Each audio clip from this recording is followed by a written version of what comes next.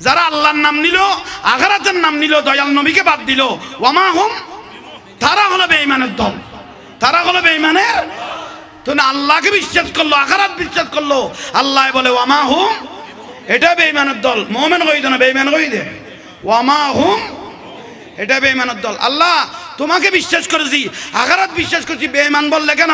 আল্লাহ বলে, বলার মধ্যে একটু ভুল হয়েছে।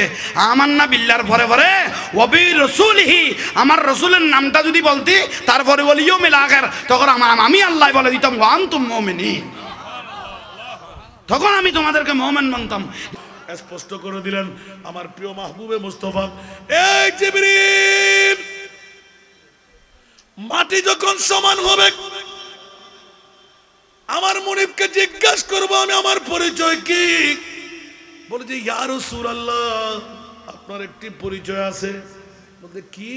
হরিসুন আলাইকুম বিল মুমিনিনা, রউফুর রহিম। উচ্চ আওয়াজ দেবেন না, সুবহানাল্লাহ।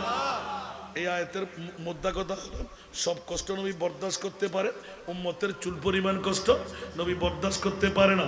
উচ্চ আওয়াজ দিয়ে বলুন না সোহান আল্লাহ তেষট্টি বছর যে নবী উম্মতের মায়ায় কোরবান করে দিলেন, কলিজার টুকরা নাতিকে দুই টুকরো করে দিলেন। আবার আমার উম্মতের এই করা দশা হবে। আমি মানবো না মানবো না মানবো না। আমার নবী রহমতওয়ালা ঠাস করে শেষ তার মধ্যে পড়ে গেলেন। আল্লাহ, আমি আজকে মাথা তুলবো না। কেন তুলবে না? বলে যে, আমার পাশে যখন তর্জন গর্জন মন বলে চিৎকার দেবে ওই মুহূর্তে যদিও বা এই এলাকার গাবতল এলাকা হয়ে যায়, যদিও বা এই এলাকাটা আশেকানে হজরত হাজি সুলতান আহমদ শাহ রহমতুল্লাহ হয়, যদিও বা এই গাবতল চাঁদগাঁও থানা হয় ইয়ারসলাল বিক্রি করবেন? হাজার হাজার কিলোমিটার দূরে মদিনাতুল মনোফারাম আপনার কষ্ট হবে বলে যে সব কষ্ট আমি মেনে নিতে পারলাম আমার উম্মতের এই কষ্ট আমি মেনে নিতে পারলাম না ইয়া বারিলাম আমার মৃত্যু দাও আমার উম্মতের কবরে আমি রসুল থাকবই থাকবো আল্লাহর নবী সরকার দু আলম সাল্লাল্লাহু তাআলা আলাইহি ওয়াসাল্লাম বলেন قال خياركم الذين اذا رؤوا ذكر الله عز وجل আমার বাবারা ভাইরা হাদিস পাকের মধ্যে আল্লাহর নবী বলেন, ও আমার সাহাবীরা, ও আমার উম্মতেরা, যেখানে সেখানে গিয়ে তোমরা দূর মারিও না, যেখানে সেখানে গিয়ে তোমরা ঝুঁকে যাইও না।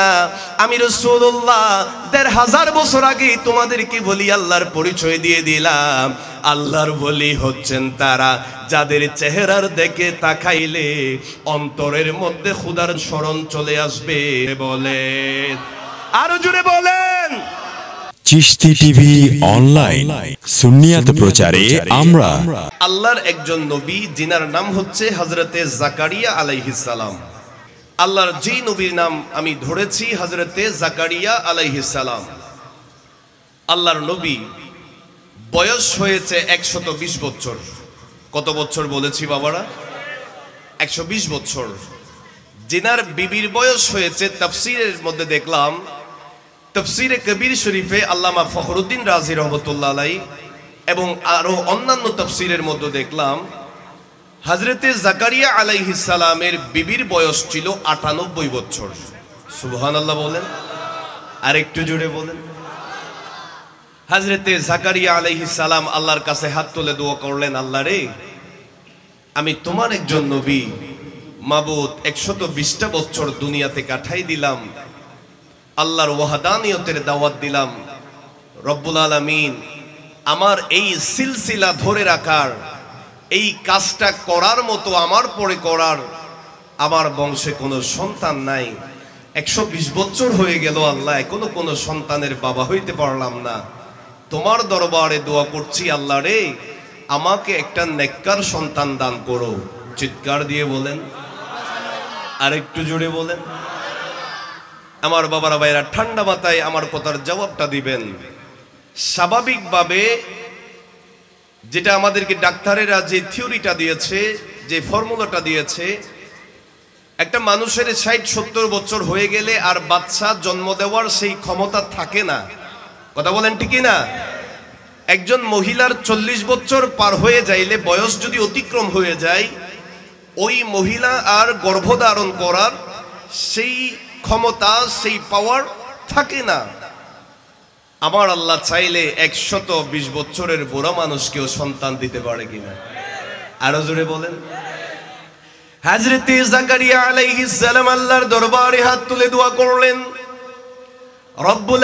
তোমার দরবারে ফরিয়াদ করছি। আল্লাহ, আমি আমার লোকদেরকে তোমার দিনের দাওয়াত দিলাম। মানুষদেরকে দাওয়াত দিতে দিতে একশত বিশটা বছর কাটাই দিলাম। আল্লাহ রে তোমার কাছে একটা পুত্র সন্তান চাচ্ছি। একশত বিশ বছর বয়সে আল্লাহর দরবারে বিকারীর হাত তুলে দিলেন। ও তোমার দরবারে কোনো কিচ্ছুর কমতি নাই। মাবুদু গো, তোমার ভান্ডারের মধ্যে কোনো কিচ্ছুর অভাব নাই। আল্লাহ, তুমি চাইলে আমাকে একশত বিশ বছর বয়সীয় সন্তানের বাবা বানাইতে পারো। কিনা বলেন? হাজরতে জাকারিয়া আলাইহিস সালাম বলে, আল্লাহ, আমাকে একটা সন্তান দাও। আল্লাহ বলেন, ও জাকারিয়া নবী, টেনশন করার কোনো প্রয়োজন নাই, চিন্তা করার কোনো দরকার নাই। আমি আল্লাহ তোমাকে একটা নেককার সন্তান দিব জোরে বলেন। সূরা আলে ইমরানের চল্লিশ নম্বর আয়াতে আল্লাহ বলেন, ওলা হজরতে জাকারিয়া আলাইহিস সালামকে আল্লাহ যখন বলেছে, তোমার সন্তান হয়ে যাবে, তোমাকে আমি আল্লাহ সন্তান দিব। জাকারিয়া নবী বললেন, রব্বি আন্না ইয়াকুনু লি গুলামুন। আল্লাহ, কীভাবে আমার সন্তান হবে? কেমনে আমার সন্তান হবে? ওয়াকাদ বালাগানিয়াল কিবারু। আল্লাহ রে আমি তো বৃদ্ধ হয়ে গেলাম, বার্ধক্যে পৌঁছে গেলাম। আল্লাহ আমি এখন তো যুবক অবস্থায় নাই। একশত বিশটা বছর হয়ে গেল। রব্বুল আলামিন, আমি তো বুড়া হয়ে গেলাম, বৃদ্ধ হয়ে গেলাম। ওয়ামরাতি আকিরুন শুধু তা নয়, আমার বিবির আটানব্বই বছর হয়ে গেল। আমার বিবি বন্দা হয়ে গেল। সন্তান ধারণ করার মতো আমার বিবির মধ্যে সেই বয়স আর নাই। আল্লাহ রে, আমরা বুড়া বুড়ি মানুষ, আমাদের সন্তান কেমনে হবে? আমার আল্লাহর কাছে যখন হাজরতে জাকারিয়া আলাইহিস সালাম বলে, আল্লাহ, আমি তো বৃদ্ধা হয়ে গেলাম। আমার বিবি তো বৃদ্ধা হয়ে গেল। আল্লাহ, এই বয়সে আমাদের সন্তান কেমনে হবে? আমার বিবির সন্তান হওয়ার সেই বয়স আর নাই। আমার বাবারা বায়ারা সূরা আল ইমরানের চল্লিশ নাম্বার আয়াতের মধ্যে আমার আল্লাহ বলেন, কলা কাযালিকা আল্লাহু আল্লাহ বলেন, ও জাকারিয়া নবী টেনশন করার প্রয়োজন নাই, চিন্তা করার কোনো প্রয়োজন নাই। আমি আল্লাহ যা মন চাই তা করতে পারি। আমি আল্লাহর যা ইচ্ছা হয় তা করে ফেলি। ও জাকারিয়া নবী, তুমি টেনশন করো না। আমি আল্লাহ এই বয়সেও তোমাকে সন্তান দিব জুড়ে বলে। আরও জুড়ে বলেন হাজরতে জাকারিয়া আলাইহিস সালাম বলেন, আল্লাহ ঠিক আমার কি সন্তান হবে? আল্লাহ বলেন, তোমার সন্তান হয়ে যাবে, টেনশন করো না। আল্লাহ আমাকে কোনো নিদর্শন দাও। আমাকে সন্তান হবে যে কোনো একটা কিছু বুঝ দাও। আল্লাহ বলেন, জাকারিয়া নবী, আমি আল্লাহ তোমাকে অর্ডার করলাম, নির্দেশ দিলাম। আজকে থেকে তিন দিন পর্যন্ত ঘর থেকে বের হওয়ার দরকার নাই। কোনো মানুষের সাথে কোনো কথাবার্তা বলবা না। নিজের বিবির সাথে আলাপচারিতা করবে না।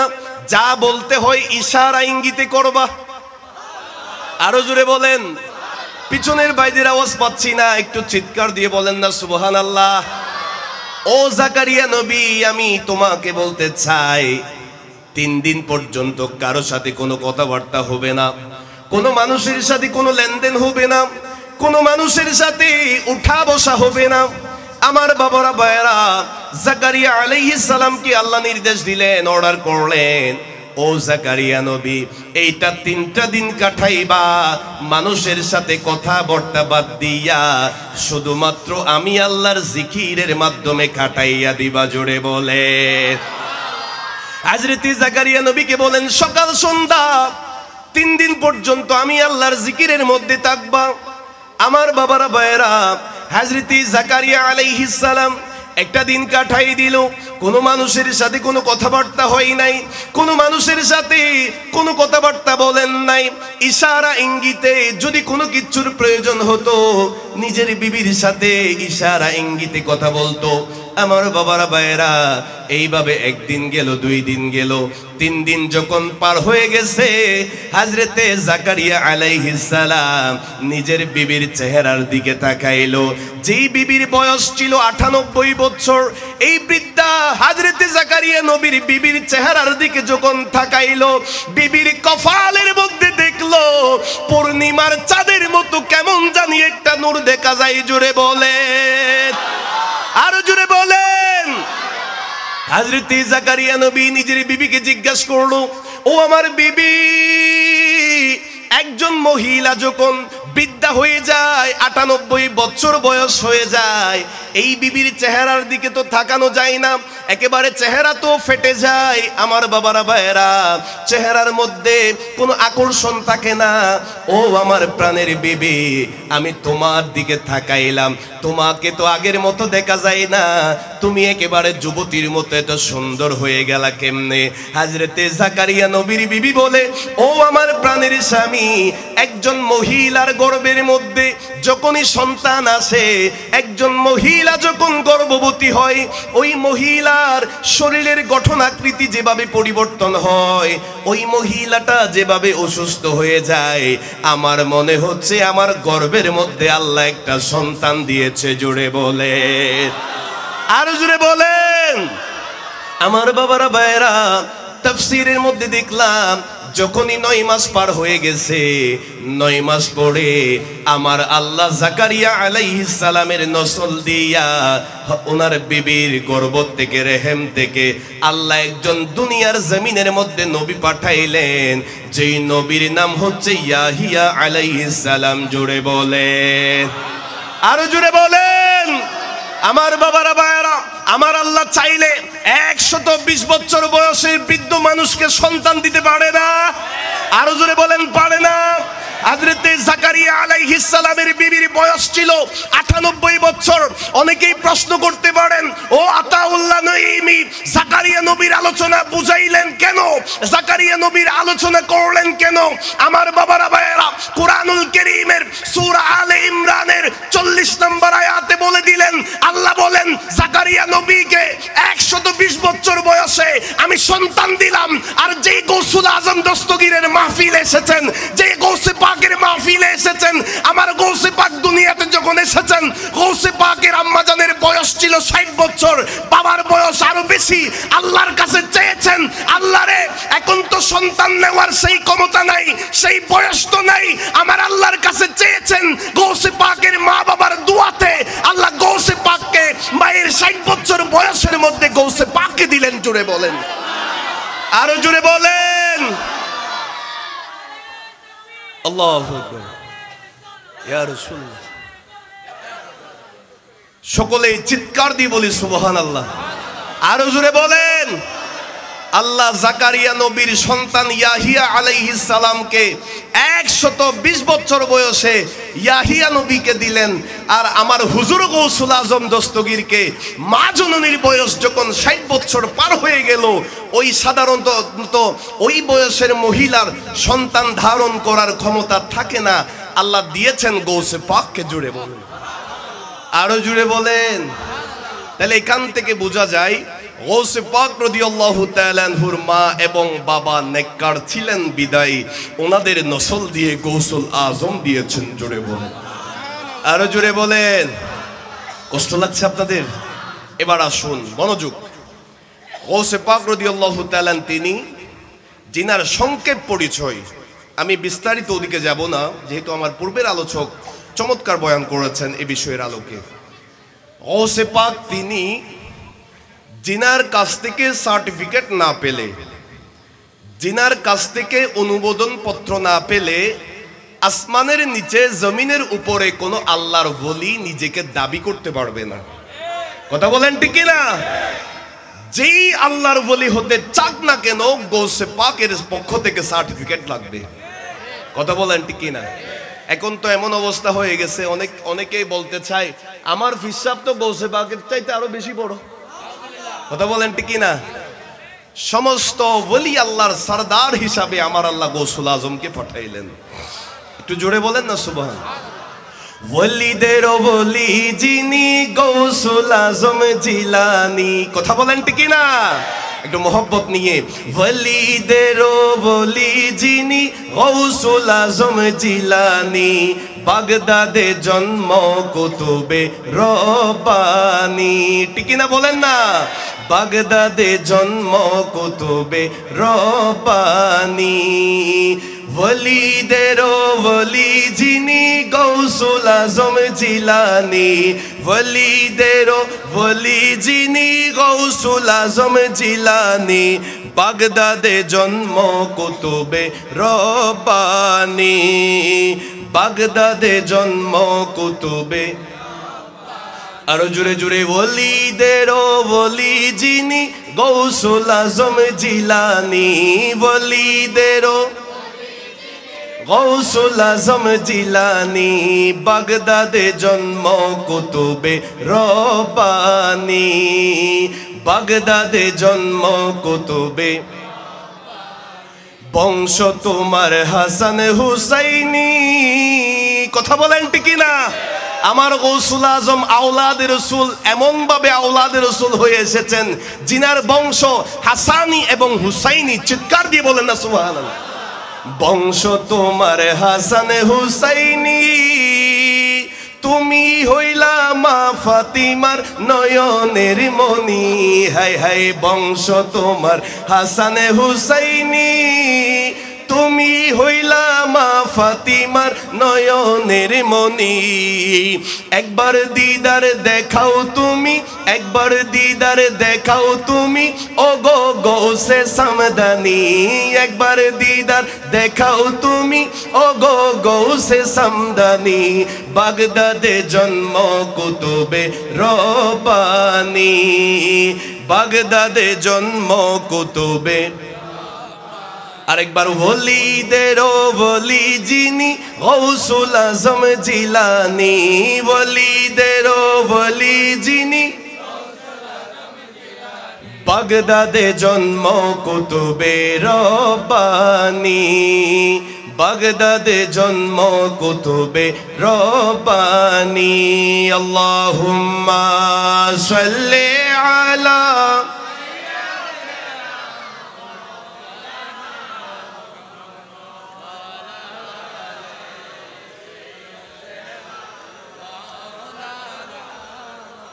সম্পূর্ণ মনোযোগ আমার দিকে রাখবেন। তো আমার বিষয়টা কি ছিল? কোরআন ও সুন্নার আলোকে আল্লাহর বলি কারা? আমাদের জানার দরকার আছে না? এবার আসুন। সাধারণ কোনো মানুষকে যদি সুন্নি মনা বলিভক্ত কোনো মানুষকে যদি জিজ্ঞাসা করি, বাবা, আপনি তো বছরের পর বছর সুন্নি ওলামাই ক্রামের মাহফিল শুনে আসছেন। আপনার কাছে একটু জানতে চাই, আল্লাহর বলি সম্পর্কে আপনি একটু বলেন না। তিনি একেবারে চিন্তা সারা বলে দিবে, আপনি কোরআন শরীফের সুরাই ইউনুসের বাষট্টি নাম্বার আয়াতের মধ্যে বলি আল্লাহ সম্পর্কে আল্লাহ বলেছেন, আলা ইন্না আউলিয়া আল্লাহ লা খাউফুন আলাইহিম ওয়ালা হুম ইয়াহজানুন। আল্লাহর বলি তারা, আল্লাহ বলেন, ও আমার বান্দারা, সাবধান, সতর্ক কান লাগিয়ে শুনো, মনোযোগ দিয়ে শুনো। নিশ্চয়ই আমার বন্ধু যারা ওলি শব্দের একটা অর্থ হচ্ছে বন্ধু, ওলি শব্দের আরেক অর্থ হচ্ছে আপন, ওলি শব্দের আরেক অর্থ হচ্ছে কাছের। আল্লাহ বলেন, আমার কাছের যারা, আমার আপন যারা, আমার বন্ধু যারা, আমার ওলি আল্লাহ যারা, লা খৌফুন আলাইহিম, তাদের কোনো ভয় নাই, ওয়ালা হুম ইয়াহজানুন, তাদের কোনো টেনশন নাই, পেরেশানি নাই জুড়ে বলেন। আরও জুড়ে বলেন। দুনিয়া, আখিরাতে আল্লাহর বলিদের কোনো টেনশন আছে? কোনো চিন্তা আছে? কোনো পেরেশানি আছে? এবার আসুন, আল্লাহকে যদি জিজ্ঞেস করি, মাবুদ বলি আল্লাহ কারা? আল্লাহর বলি হওয়ার জন্য কি হওয়া লাগবে? একটা প্রশ্ন আছে না? আপনাদের কি বিরক্ত লাগছে? একটু মনোযোগ কষ্ট করেন। ইনশাল্লাহ হুজুর চলে আসলে আমার আলোচনা শেষ হবে। আল্লাহর বলির পরিচয় আমার আল্লাহ দিলেন সুরা অনুসের তেষট্টি নাম্বার আয়াতে। আল্লাহ বলেন, কেউ যদি নিজেকে আল্লাহর বলি দাবি করতে চায় আল্লাহর বলি যদি হতে চায়, কেউ যদি আল্লাহর বলি হতে চায় তাহলে তার দুইটা কন্ডিশন লাগবে। আমি আল্লাহ বলি হওয়ার জন্য দুটা শর্ত দিলাম কন্ডিশন দিলাম। সেই দুইটা শর্ত যদি সে মানে সেই দুইটা জিনিসের উপর যদি সে থাকে, সেই আল্লাহর বলি হবে। জোরে বলেন না, সুবহান। আরও জোরে বলেন। আল্লাহর দরবারে যদি জিজ্ঞেস করি তুমি কোরআনুল কারীমের মধ্যে বলেছ, নিশ্চয়ই তোমার বন্ধু যারা, আল্লাহর বলি যারা, তাদের কোনো ভয় নাই, তাদের কোনো টেনশন নাই। তারা দুনিয়ার মধ্যে কখনো টেনশন করেন না, আখিরাতের মধ্যেও কখনো টেনশন করবে না। আল্লাহরে তোমার দরবারে জানতে চাই। বলি হওয়ার জন্য কি শর্ত, কি প্রয়োজন?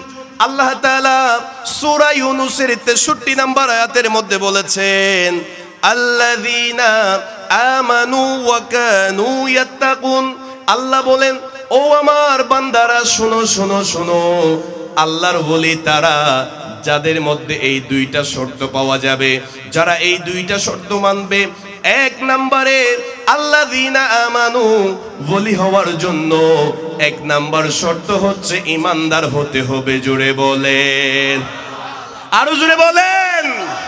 আল্লাহর বলি হওয়ার জন্য এক নাম্বার শর্ত হচ্ছে ইমানদার হওয়া লাগবে, কথা বলেন ঠিক না আমার বাবারা ভাইয়েরা, আশিক রসুল ভাইয়েরা আপনাদেরকে বলতে চাই যদি কোনো হিন্দু এলাকায়, যদি কোনো বিধর্মী এলাকায় আপনাদেরকে কেউ যদি বলে, আমাদের এই বৌদ্ধ এলাকায়, খ্রিস্টান এলাকায়, আমাদের এই হিন্দু এলাকার মধ্যে একটা মানুষ খজা বাবার দান পাইছে গৌসে পাকের দান পাইছে, আল্লাহর কোনো একজন বলির দান পাইছে?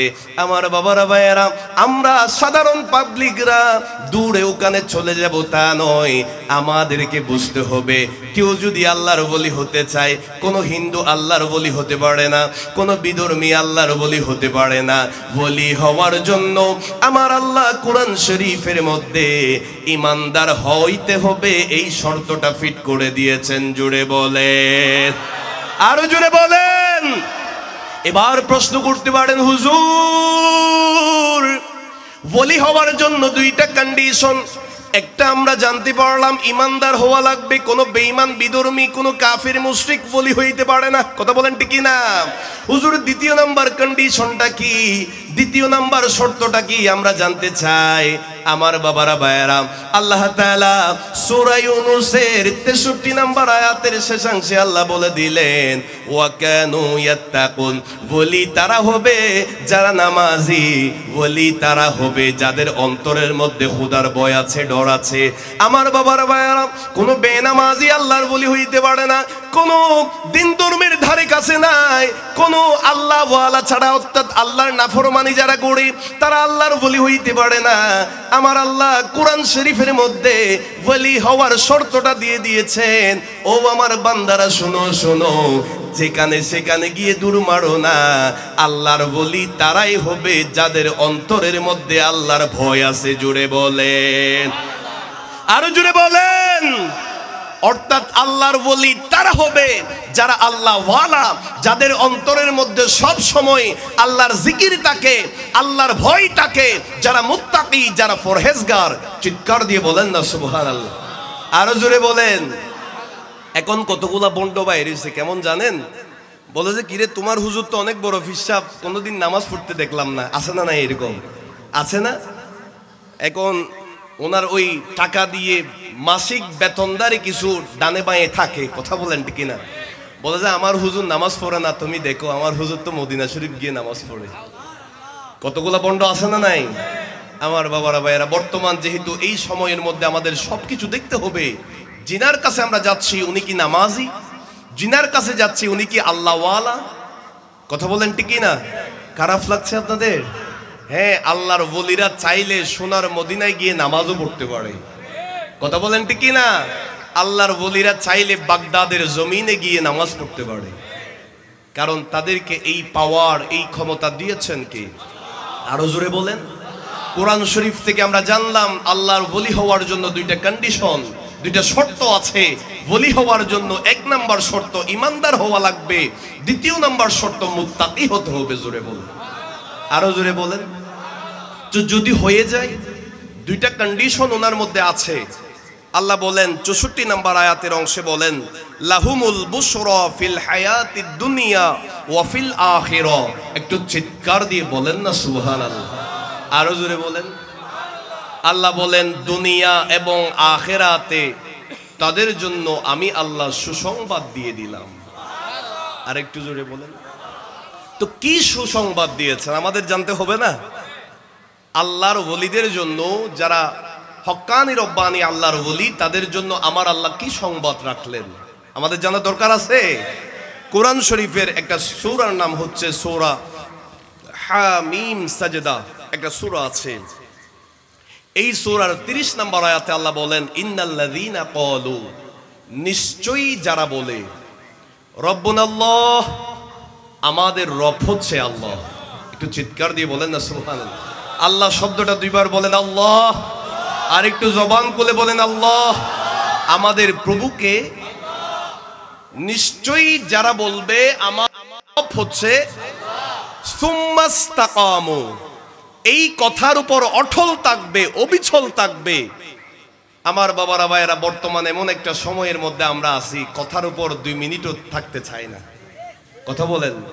একটা আঞ্চলিক ভাষায় কথা বলে, এক টাকা দিলে গেড়ে দেয় দুই টাকা দিলে তুলে দেয় কথা বলেন ঠিক না এক টাকা দিলে গেড়ে দেয় দুই টাকা দিলে আল্লাহ আমাদেরকে হেফাজত করুন আমি আর বিস্তারিত বলছি না বুঝে নিবেন আল্লাহ আমাদেরকে বুঝার তৌফিক দান করুন তো যারা বলবে আমাদের রব আল্লাহ।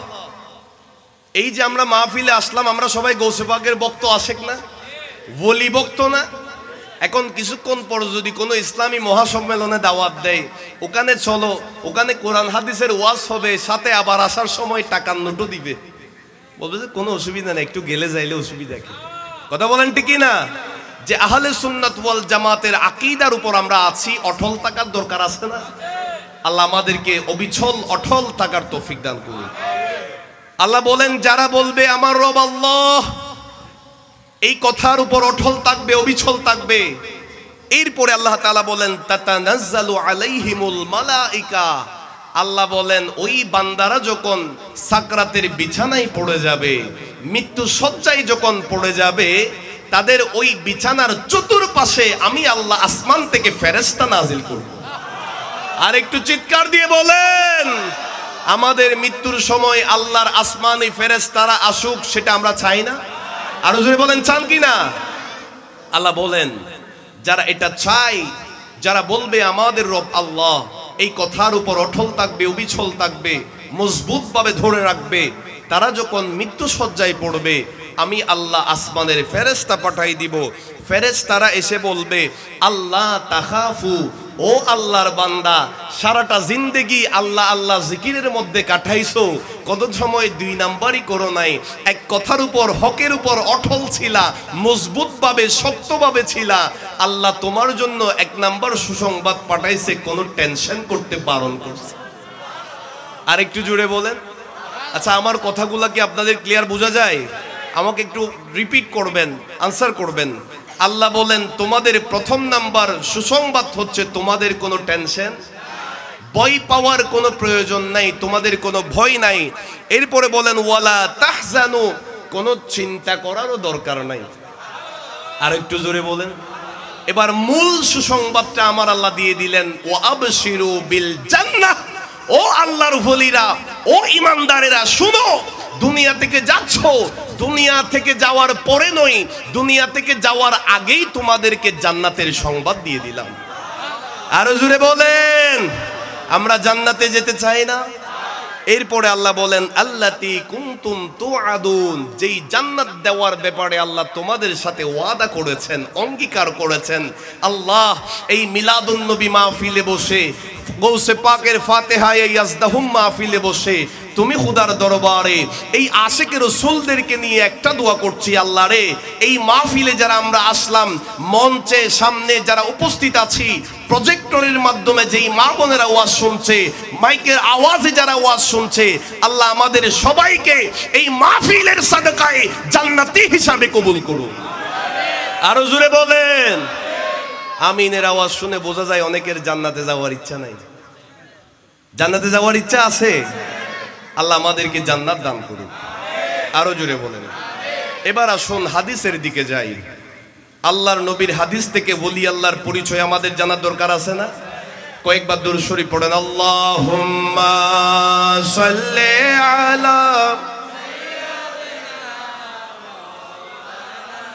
মোহাম্মদ আলি সঈদিনা মনে বড় আশা ছিল, যাব মদিনায়। মদিনায় যাওয়ার ইচ্ছা আছে? একটু মহব্বতে মনে বড় আশা ছিল। আরও জুড়ে জুড়ে মনে বড় আশা ছিল। সালাম আমি করব গিয়ে। বলেন সালাম আমি নবীজি রওজাই মনে বড় আশা ছিল। মাশাল্লাহ, জোরে জোরে মনে বড় আশা ছিল। আরব সাগরে পাড়ি দেব, নাই কো আমার তরি।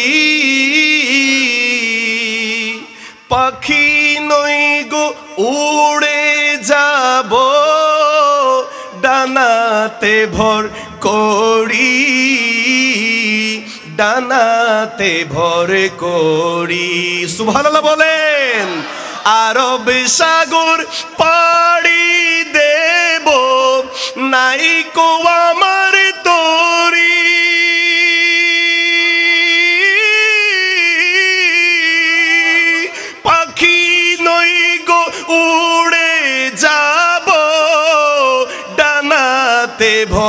করি,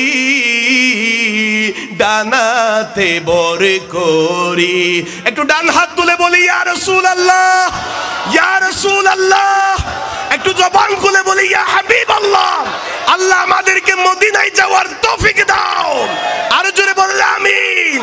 আমার আশায় আছে, সম্বল নাই।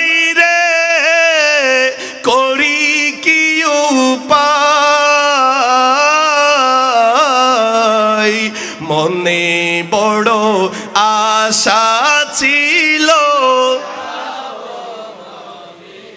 আর জুড়ে জুড়ে মনে বড় আশা ছিল। সালাম আমি করব গিয়ে, বলেন সালাম আমি নবীজি রওজাই বড় আশা ছিল। মনে বড় আশা ছিল যাব মদিনায়। আল্লাহুম্মা জুড়ে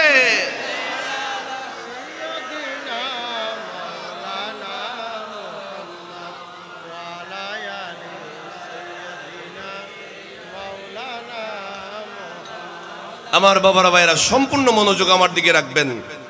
যে হাদিসটা বলছি, ইবনে মাজা শরীফের চার হাজার একশত উনিশ নম্বর হাদিস। একটু জোরে বলেন না সুবাহ চার হাজার একশত উনিশ নম্বর হাদিস। এটা ইবনে মাজা শরীফ সিয়াসিত্তার একটা কিতাব, নির্ভরযোগ্য গ্রান্টের একটা কিতাব। যেই কিতাবের একেবারে মূল কিতাবের চার হাজার একশত উনিশ নম্বর হাদিস। একটু মনোযোগ আমার দিকে রাখবেন। عن أسماء بنت يزيد رضي الله تعالى عنها أنها سمعت رسول الله صلى الله عليه وسلم হযরতে আসমা বিনতে ইয়াজিদ বলেন আল্লাহর নবী সরকার দো আলম সাল্লাল্লাহু আলাইহি ওয়াসাল্লাম নূরানি জবানে বলতে আমি নিজ কানে শুনেছি আর একটু জোরে বলেন আমার বাবারা ভাইয়েরা আল্লাহর নবী সরকারি আলম সাল্লাল্লাহু তাআলা আলাইহি ওয়াসাল্লাম নূরানি জবানে বলেন, ও আমার সাহাবীরা, আলা উনাব্বিউকুম বিখিয়ারিকুম? আল্লাহর নবী বলেন, ও আমার সাবিরা ও আমার উম্মতেরা, আমি তোমাদেরকে আল্লাহর ভলিদের পরিচয় কি দিব না? আল্লাহর ভলিদের পরিচয় কি তোমাদেরকে শোনাইব না, জানাইব না? তোমরা কি জানতে চাও বলি আল্লাহ কারা? আল্লাহর বলি কারা? আল্লাহর বলি কে হবেন? আল্লাহর বলির পরিচয় কি আমি তোমাদেরকে জানাইব না? আমার বাবারা ভাইরা সমস্ত সাবেকরামরা বলেন, কলু বালা ইয়া রাসূলুল্লাহ সাল্লাল্লাহু তাআলা আলাইহি ওয়াসাল্লাম। ও দয়ার নবী, মায়ার নবী, কামলিওয়ালা নবী, গায়েবের খবর দেনে ওয়ালা নবী। নবী গো, আমরা জানতে চাই, আমাদের মাঝে আল্লাহর বলি কারা হবেন? সাধারণ মানুষের উপর আল্লাহর বলি কারা হবেন? ইয়া আল্লাহ আল্লাহর বলিদের পরিচয় আমরা জানতে চাই, আল্লাহর বলিদের ডিটেলস আমরা জানতে চাই অ্যাড্রেস আমরা জানতে চাই। আমার বাবার ভাইয়েরা, হাদিসের আলোকে আমার নবী সাহাবাই ক্রামদেরকে বলছেন, ও আমার সাহাবীরা আলা উনাব্বিউকুম বিখিয়ারিকুম? আমি তোমাদেরকে কি আল্লাহর বলির পরিচয় দিব না? আরেকটু জোরে বলেন না। আমার বাবারা ভাইয়েরা, আমরা তো একেবারে লাল রঙের কাপড় বাঁধা দেখলেই, গলার মধ্যে তাবিজের একেবারে ওই কি বলে যে, রশি বাঁধা দেখলেই, চুলের মধ্যে গিটটা দেখলেই, আমরা মনে করি যে, এই বড় আল্লাহর বলি ঠিক কিনা বলেন না? কোরআন হাদিসের আলোকে আল্লাহর বলি চেনার দরকার আছে না? আরও জোরে বলেন, আছে কি না আল্লাহর নবী যখন এই কথাটা বলেছেন ও আমার সাহাবীরা আমি তোমাদেরকে আল্লাহর বলির পরিচয় দিতে চাই তোমরা কি জানতে চাও শুনতে চাও সাহাবাইকরামরা বলেন কলু বালা ইয়া রাসূলুল্লাহ আল্লাহর বলি আমরা চিনতে চাই বলি আল্লাহর পরিচয়টা আমাদেরকে দিয়ে দেন আল্লাহর নবী সরকারে দু আলম সাল্লাল্লাহু তাআলা আলাইহি ওয়াসাল্লাম বলেন قال خياركم الذين إذا رؤوا ذكر الله عز وجل আমার বাবারা ভাইয়েরা, হাদিসে পাকের মধ্যে আল্লাহর নবী বলেন, ও আমার সাহাবীরা, ও আমার উম্মতেরা, যেখানে সেখানে গিয়ে তোমরা দূর মারিও না, যেখানে সেখানে গিয়ে তোমরা ঝুঁকে যাইও না। আমি রসুল্লাহ দেড় হাজার বছর আগে তোমাদেরকে বলি, আল্লাহর পরিচয় দিয়ে দিলাম।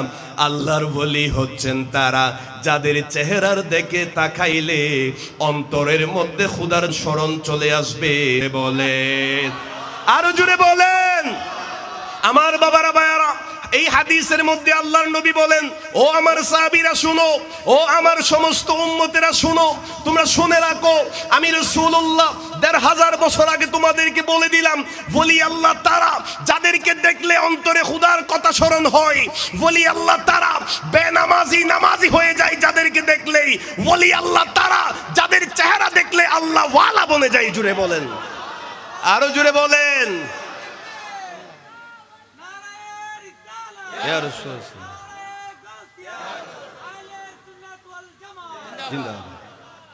বলি আল্লাহ তারা যাদেরকে দেখলেই আল্লাহর কথা স্মরণ চলে আসে। কথা বলেন ঠিকই না শুধু তা নয় আল্লাহর বলি তারা যারা মানুষকে দেখা মাত্র অন্তরের খবর বলে দিতে পারে। ঠিকই না বলেন না? মনোযোগ আমার দিকে।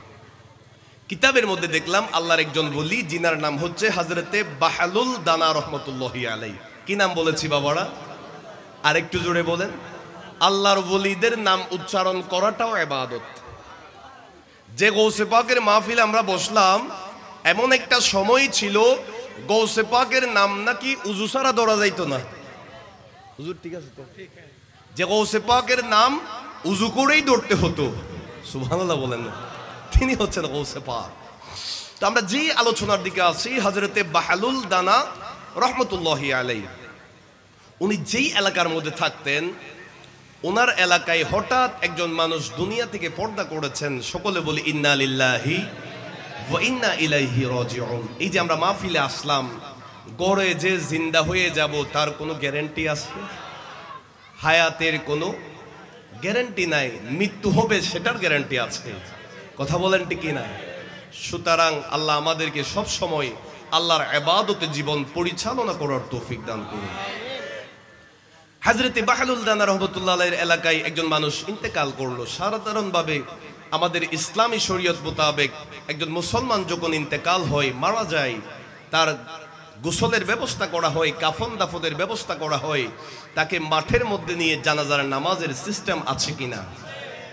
ওই এলাকার যিনি ইমাম সাহেব, মসজিদের যিনি খতিব সাহেব, দেখা যায় মসজিদের মধ্যে মুরদাস নিয়ে এসেছে মাঠের মধ্যে। সমস্ত মানুষেরা কাতারবন্দি হয়ে দাঁড়িয়েছে। একজন জিজ্ঞেস করল, হুজুরকে দেখা যায় না কেন? আরেকজন বলে, মনে হয় বাজারে গিয়ে আটকে গেছে। এখন সবাই টেনশনের মধ্যে পড়ছে না? কথা বলেন না। আমরা অনেকেই মনে করি, মোল্লার দূর মসজিদ পর্যন্ত। ঠিক কিনা বলেন না?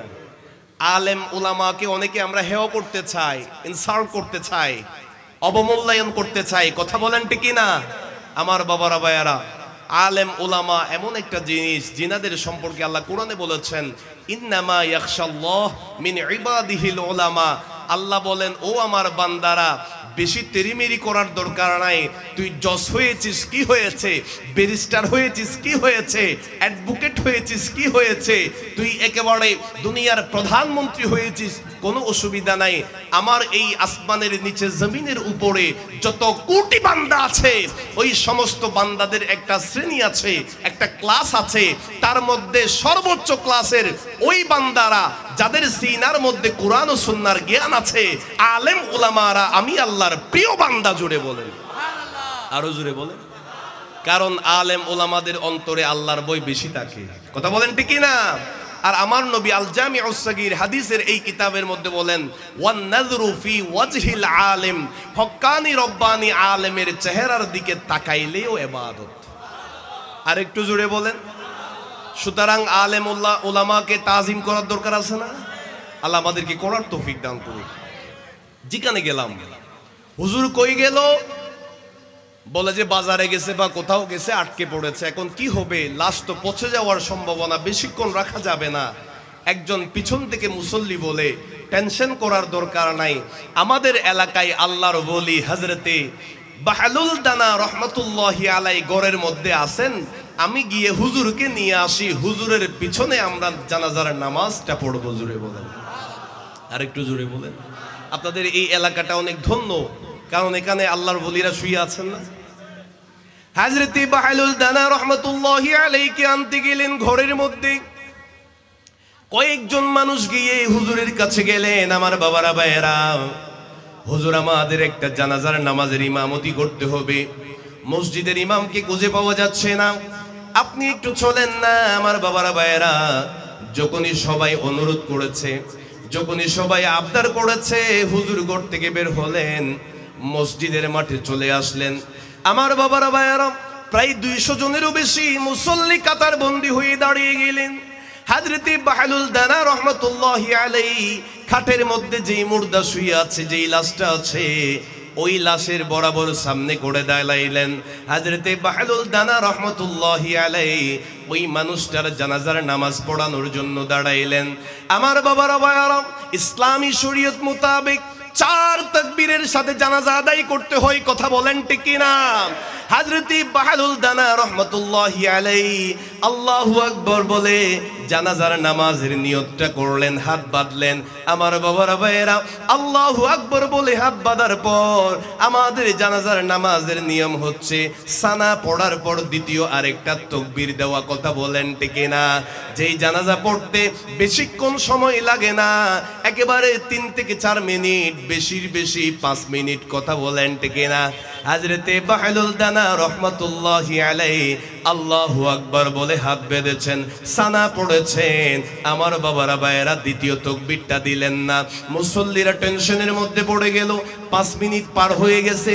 পাঁচ মিনিট লাগে সম্পূর্ণ জানাজা কমপ্লিট করতে পাঁচ মিনিট পার হয়ে গেলে এখনও দ্বিতীয় তকবীরের আওয়াজ শুনতে পারলাম না। দশ মিনিট পার হয়ে গেল, এখনও হুজুর দ্বিতীয় তকবীর দেই না।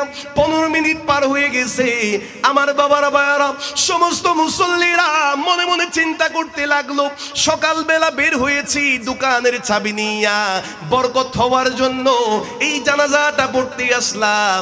মনে হয় আজকে আর দোকান দোকান খোলা যাবে না। আরেকজন মনে মনে বলে, চাকরিতে যাওয়ার জন্য সকালে বের হলাম, মাঝখানে জানাজাটা পড়ার জন্য আসলাম। মনে হয় আজকে চাকরি থেকে আমি আর যাইতে পারব না। এইভাবে সময় পার হতে লাগল, তিরিশ মিনিট পার হয়েছে। এখনও দ্বিতীয় তকবীরের আওয়াজ শোনা যায় না। আমার বাবারা বায়ারা পঁয়তাল্লিশ মিনিট যখন হয়ে গেল, হাজরতে সৈয়দুনা বাহালুল দানা রহমতুল্লাহি আলাই প্রথম তাকবীর দেওয়ার পর দ্বিতীয় তাকবীরটা দিয়ে দিলেন, জোরে বলেন। আর একটু জোরে বলেন। আমার বাবারা ভাইয়েরা, আপনাদের এই চাঁদগাঁও এলাকার যদি কোনো মসজিদের ইমাম সাহেব জানাজার নামাজ পড়াইতে যদি দশ মিনিট, কে ফেলে কয় মিনিট? দশ মিনিট যদি কোনো ইমাম সাহেবের লেগে যায়, জানাজা নামাজ শেষ হইতে দেরি। হুজুর, আপনি এবার যাইতে পারেন। আসসালামু আলাইকুম বলতে দেরি নাই। কথা বলেন ঠিক না যেই হুজুরের জানাজা পড়াইতে দশ মিনিট লেগে যায়, ওই হুজুরকে মসজিদের ইমামতি করার দরকার নাই। কথা বলেন ঠিক না হাজরতে বাহালুল দানা রহমতুল্লাহ আলাইহি পঁয়তাল্লিশ মিনিট পার হয়ে গেছে, দ্বিতীয় তকবির দিলেন। এরপরে এক ঘণ্টা পার হয়ে গেল, তৃতীয় তকবির আর দেয় না। এক ঘণ্টা পনেরো মিনিট চলে গেল, হাজরতি বাহালুল দানা রহমতুল্লাহি আলাই আল্লাহু আকবর বলে তিন নাম্বার তকবিরটা দিয়ে দিলেন। আরও জোরে বলেন। আমার বাবার ভাইয়েরা, যেই জানাজার নামাজ পড়াইতে মাত্র পাঁচ মিনিট লাগে, আমি আবারও বলছি কয় মিনিট লাগে? পাঁচ মিনিট লাগে, এক ঘণ্টা পনেরো মিনিট হয়ে গেল, এখনও তো জানাজা শেষ হইল না, জানাজা কমপ্লিট হলো না।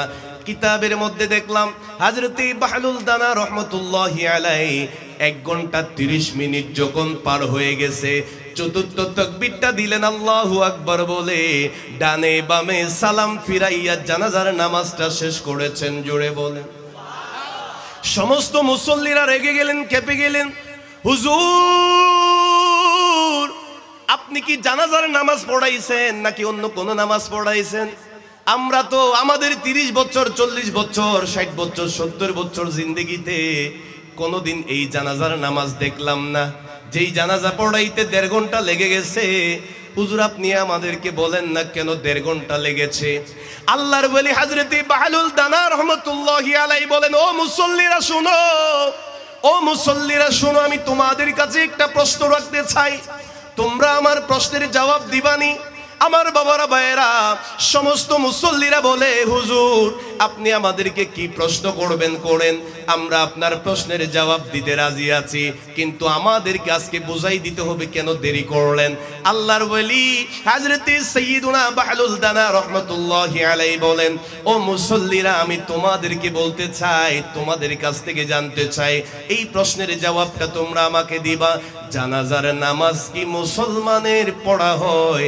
জানাজার নামাজ কি মরা মানুষের পড়া হয়, নাকি জিন্দা মানুষের পড়া হয়? সুবহানাল্লাহ বলেন। আর একটু জোরে বলেন। মুসল্লিরা বলে, হুজুর, এটা কোনো প্রশ্ন হইল নি? জানাজা কি আবার জিন্দা মানুষের পড়া হয়নি? জানাজার নামাজ তো তার পড়া হয়, যার নিঃশ্বাস বন্ধ হয়ে যায়। যেই মানুষটা আমাদের সাথে উঠা বেসা করেছে, চলাফেরা করেছে, যেই মানুষটা কথা বলেছে মানুষটা যখন নিষ্প্রাণ হয়ে যায়, মানুষটার যখন যান চলে যায়, যখনই ডেড বডি হয়ে যায়, মানুষটা যখন দুনিয়া থেকে চলে যায়, মারা যায়, জানাজা তো জিন্দা মানুষের পড়া হয় না, জানাজা তো পড়া হয় মরা মানুষের। আমার বাবারা বায়ারা আল্লাহর বলি বাহালুল দানা রহমতুল্লাহ আলাই বলেন, ও মুসল্লিরা, তাইলে তোমরা আমার প্রশ্নের জবাবটা শোনো। যে তোমরা আমাকে জিজ্ঞাসা করেছ, হুজুর, আপনার দেড় ঘণ্টা কেন লেগেছে? এই জানাজার নামাজটা পড়াইতে এত বেশিক্ষণ সময় কেন লাগল? হাজরতে সৈয়দুনা বাহালুল দানা রহমতুল্লাহ আলাই বলেন, ও দুনিয়ার সমস্ত মানুষেরা, তোমরা শোনো শোনো শোনো।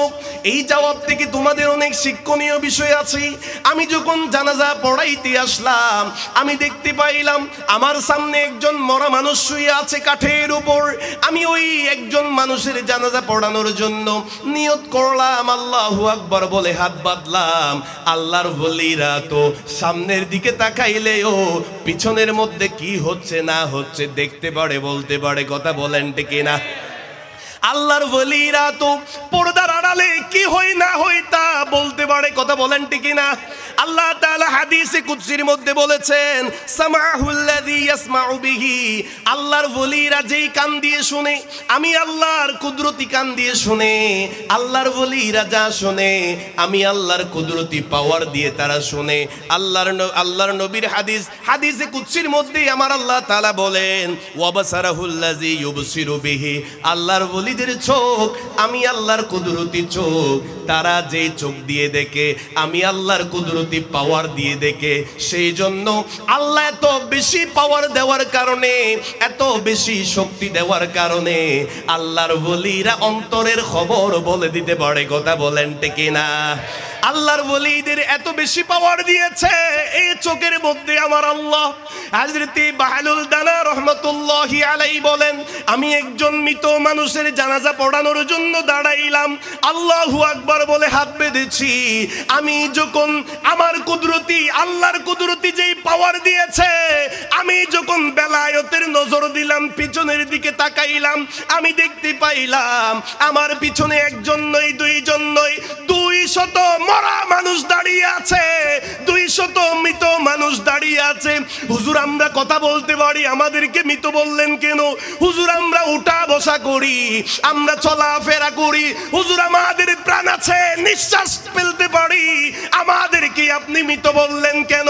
আল্লাহর বলি সৈয়দুনা বাহালুল দানা রহমতুল্লাহি আলাই বলেন, আমি বেলায়তের নজর দিয়ে সকলের সিনার দিকে তাকাইলাম, সবার কলবের দিকে তাকাইলাম, দেখতে পাইলাম একটা কলবের মধ্যেও আমার দয়াল নবীর প্রেম, ভালোবাসা কিচ্ছুই নাই, নবীর মোহাব্বত যেই কলবে নাই, সেই মানুষ তো কখনো জিন্দা হতে পারে না। আমি আল্লাহর বলি দেখলাম আমার পিছনে দুইশো জন মরা মানুষ দাঁড়িয়ে আছে। এই দুইশো জন মৃত মানুষের জানাজা পড়াইতে আমার দেড় ঘণ্টা সময় লেগে গেছে। আল্লাহ।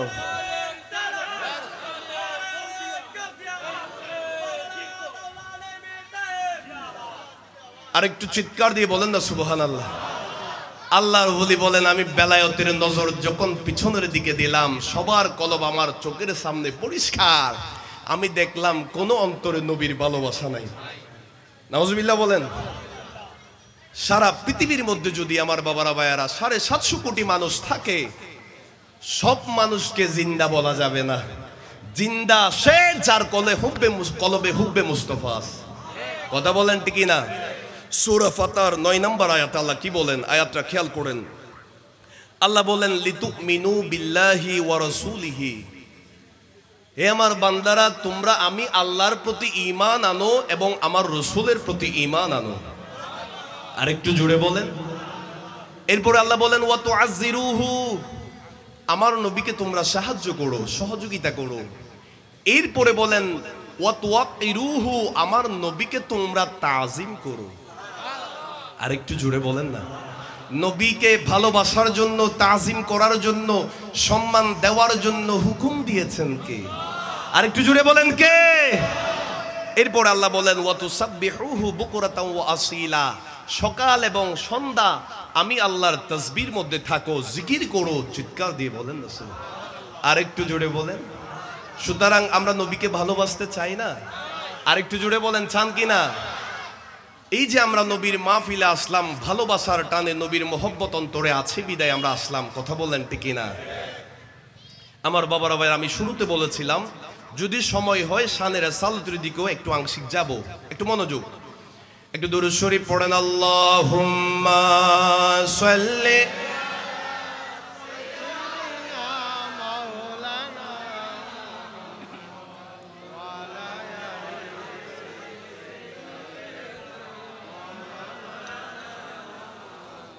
ইচ্ছা করলে প্রাণের নবীজি তাকতেই পারতেন আরও সে।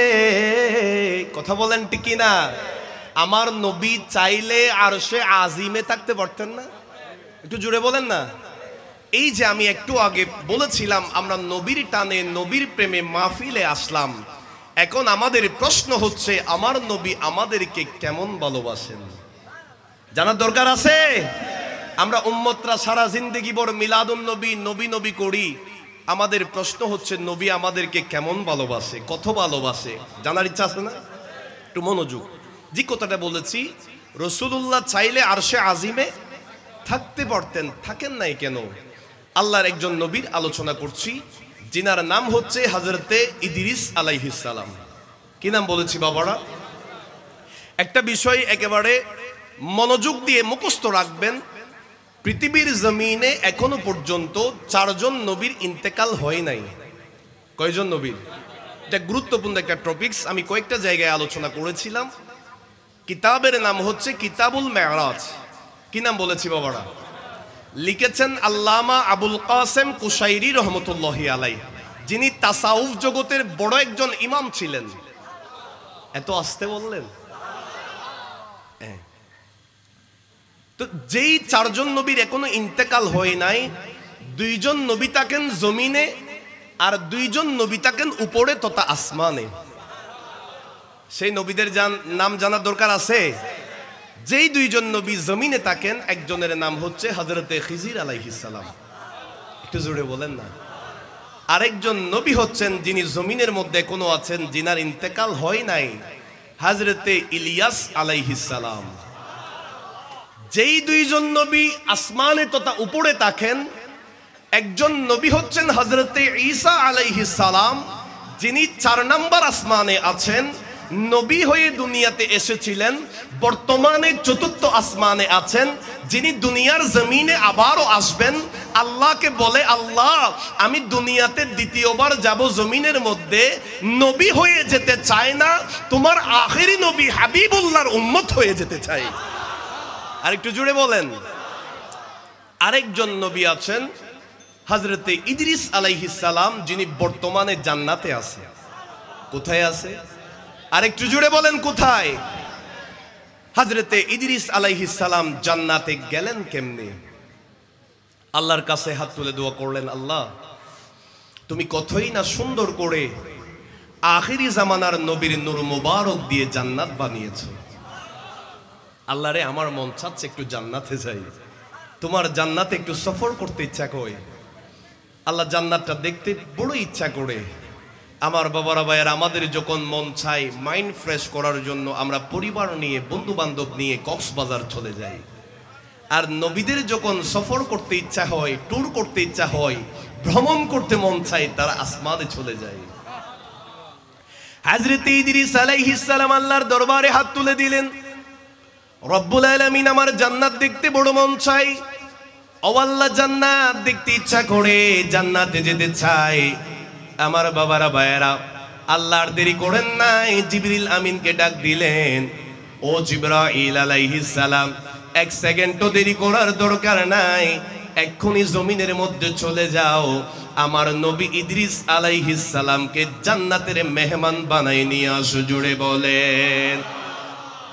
হাজরতে জিব্রাইল আলাইহিস সালাম সাথে সাথে ইদ্রিস নবীর কাছে চলে আসলেন জমিনের মধ্যে। ও আল্লাহর নবী ইদ্রিস আলাইহিস সালাম, আপনি নাকি আল্লাহর কাছে দোয়া করেছেন? আল্লাহকে বলেছেন, জান্নাত দেখতে বড় ইচ্ছা করে জান্নাত দেখতে মন চায়। আপনি আল্লাহর দরবারে দোয়া করেছেন, ফরিয়াদ করেছেন। হাজরতে ইদ্রিস আলাইহিস সালামকে জিবরিল আমিন বলেন, আমি আপনাকে জান্নাতে নিয়ে যাওয়ার জন্য আসলাম। জান্নাতে আপনাকে নিয়ে যাইতে পারি। তবে আমার একটা কন্ডিশন আছে, একটা শর্ত আছে। আপনি যদি আমার সাথে ওয়াদা করেন, আমার কন্ডিশনটা যদি অ্যাকসেপ্ট করেন, আমার শর্তটা যদি গ্রহণ করেন, আমি আপনাকে জান্নাতের মধ্যে নিয়ে যাইতে পারি, জুড়ে বলেন। হাজরত ইদ্রিস আলাইহিস সালাম বলেন, ও ভাই জিব্রাইল, আমি তোমার যত কন্ডিশন আছে সবগুলো আমি মেনে নিব। তোমার সাথে যেই ওয়াদা করাও না কেন আমি ওয়াদা করতে রাজি? আমাকে একটু জান্নাতটা দেখার সুযোগ দাও না, আমি জান্নাত দেখতে চাই। আলাইহিস সালাম বলেন, হুজুর, জান্নাতের মধ্যে আপনি যাবেন। জান্নাত আল্লাহ এত সুন্দর করে বানাইলেন। যেদিকে থাকান না কেন, জান্নাত দেখে আপনি মুগ্ধ হয়ে যাবেন। জান্নাত দেখে আর আপনার দুনিয়ার জমিনের মধ্যে আসতে ইচ্ছা করবে না।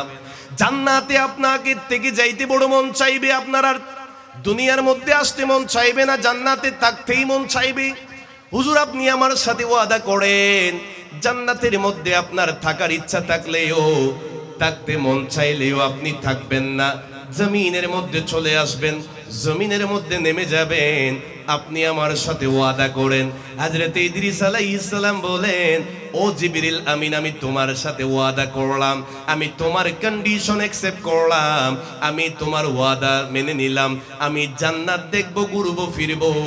জান্নাত থেকে মধ্যে থাকতে মন চাইলেও জান্নাতের মধ্যে থেকে যাইব না, জমিনের মধ্যে নেমে আসব জুড়ে বলেন।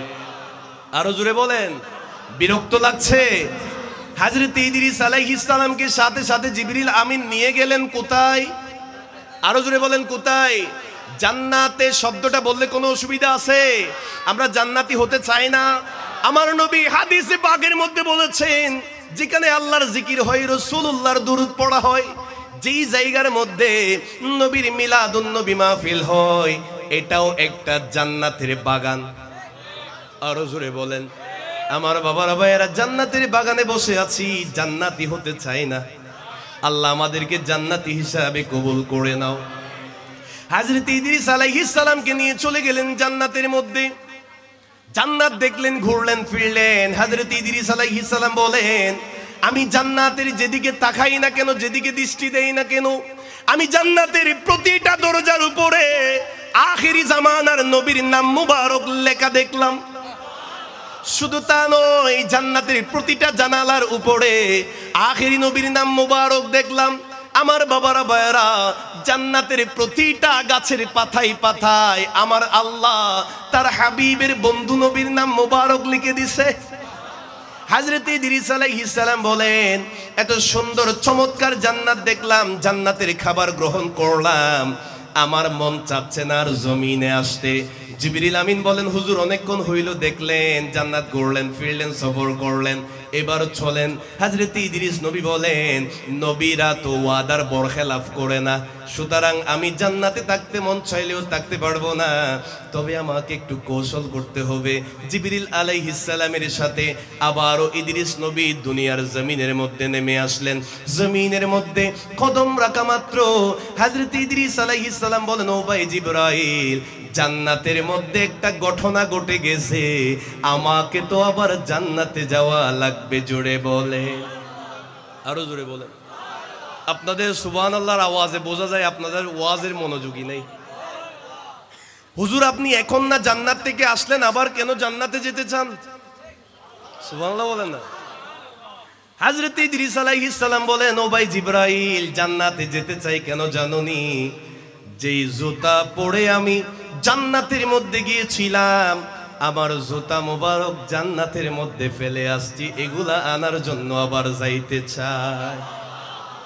হুজুর, আপনার যাওয়া লাগবে না।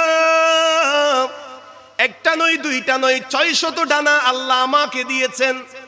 একটা ডানা মুবারকের বাতাস যদি ছাড়ি, আমি জিবরিল আমিন চোখের পলকে আপনার জুতা জান্নাত থেকে জমিনে আনতে পারি। আরও জোরে বলেন। জিবরিল আমিনকে এই পাওয়ার দিয়েছেন কে? আরেকটু জোরে বলেন। আমার বাবারা, ভাইয়েরা, যারা বুঝে না তাদেরকে বলতে চাই, জিবিরিল আমিনের এত পাওয়ার যদি হয়, যেই নবীর মিলাদুন নবী মাহফিলে আসলাম, আমার নবীর নূর মুবারক দিয়ে জিবরিল আমিনকে আল্লাহ বানাইছে। সুতরাং আমার নবীর কেমন পাওয়ার হতে পারে? কখনো উম্মত নবীর মতো হতে পারে? আরও জোরে বলেন, পারে। জিবরিল আমিনের মতো হইতে পারলাম না, নবীর মতো কেমনে হব? আল্লাহ যারা বুঝে না, তাদেরকে বুঝদান করুক। হাজরত ইদ্রিস আলাইহিস সালাম বলেন, আপনি কেন আমার জুতা নিয়ে আসবেন? আমি আমার জুতা মোবারক নিজে আনতে পারব। হাজরতে জিব্রাইল আলাইহিস সালাম বলেন, ইয়া রব্বাল আলামিন, তোমার নবীকে জান্নাত দেখাইলাম, ঘুরাইলাম, জান্নাতে খেয়েছে। মাবুদু গো জান্নাত দিকে জমিনের মধ্যে যখন এসেছে, আসার পরে নাকি আবারও জান্নাতে যাইতে চাই ও আল্লাহ, নবী বলে আবার নাকি জান্নাতের মধ্যে জুতা মোবারক রেখে এসেছে। এগুলা নাকি আনতে তিনি নিজে যাবেন। আল্লাহ বলেন ওজিবির আমিন, আমি তোমাকে প্রশ্ন করার জন্য পাঠাই নাই, আমার নবীর খেদমত করার জন্য পাঠাইলাম। হাজরতে জিব্রাইল আলাইহিস সালাম ইদ্রিস নবীকে আবারও নিয়ে চলে গেলেন কোথায়? আরেকটু জোরে বলেন, কোথায় গেলেন? জান্নাতের মধ্যে নিয়ে গেলেন। হাজরত ইদ্রিস আলাইহিস সালাম পা মুবারকের মধ্যে জুতা মুবারক দিলেন। আমার বাবারা ভাইরা জুতা মুবারক যখন পড়েছেন, এই যে কথাগুলা বলছি, কোনো গল্প, কিচ্ছা, কাহিনী নয়, আমি আবারও বলছি, কিতাবুল মেরাজ, লিখেছেন আল্লাহ মাবুল কাসেম কুসাইরি রহমতুল্লাহি আলাই এই কিতাবের মধ্যে এই আলোচনাটা তিনি বর্ণনা করেছেন, নোট করেছেন। হাজরত ইদ্রিস আলাইহিস সালাম পা মুবারকের মধ্যে যখন জুতা মুবারক দিলেন, হাজরতে জিবরিল আমিন বলেন, ওগো আল্লাহর নবী, এবার চলেন। হাজরতে ইদ্রিস আলাইহিস সালাম বলেন, কোথায় যাইতাম? একটু জোরে বলেন। হুজুর, এবার চলেন। ইদ্রিস নবী বলেন, কোথায় যাব? জিবরিল আমিন বলেন, হুজুর, আপনি না আমার সাথে ওয়াদা করেছেন। জান্নাতের মধ্যে থাকতে মন চাইলেও থাকবেন না, জমিনের মধ্যে নেমে যাবেন।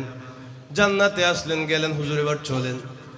হাজরত ইদ্রিস আলাইহিস সালাম বলেন, ও ভাই জিবরাইল আমিন, জিবরিল আমিন, আমার একটা কথার জবাব দাও, তারপরে আমি এখান থেকে বের হলে বের হব, না হয় এখানে থেকে যাইব।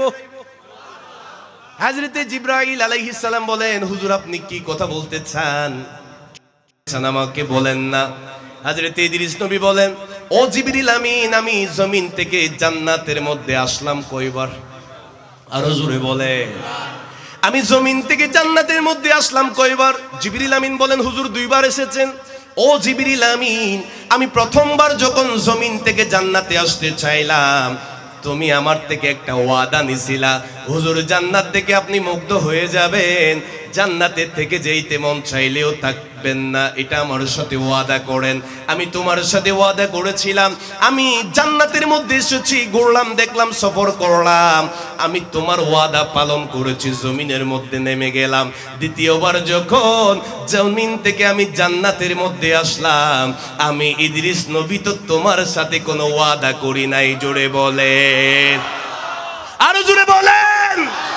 হাজরত ইদ্রিস আলাইহিস সালাম বলেন, ও জিবরিল আমিন, দ্বিতীয়বার আসার আগে আমি তোমার সাথে কোনো ওয়াদা করি নাই, তোমার কন্ডিশন কোনো কন্ডিশন আমি অ্যাকসেপ্ট করি নাই। সুতরাং আমি জান্নাত থেকে একটা কদমও সামনের দিকে দিব না, এখানেই থেকে যাব। হাজরতে জিব্রাইল আলাইহিস সালাম আল্লাহর দরবারে ফরিয়াদ করলেন, ইয়া রব্বাল আলামিন, তোমার নবী তো জান্নাত থেকে আর নামতেও চাচ্ছে না। তোমার নবী তো জান্নাত থেকে আর বের হইতে চাচ্ছে না। আল্লাহ বলেন, ও জিবরিল আমিন, প্রশ্ন করার দরকার নাই। আমি তোমাকে প্রশ্ন করতে বারণ করে দিয়েছি। আমার নবী যেহেতু জান্নাতের মধ্যে থেকে যাইতে চায়, আমার নবীকে জান্নাতে থাকার ব্যবস্থা করে দাও জুড়ে বলেন। হাজরতে ইদ্রিস আলাইহিস সালাম এখনও আছেন কোথায়? আরেকটি বার বলেন, কোথায় আছে? ইদ্রিস নবী বর্তমানেও জান্নাতের মধ্যে আছে।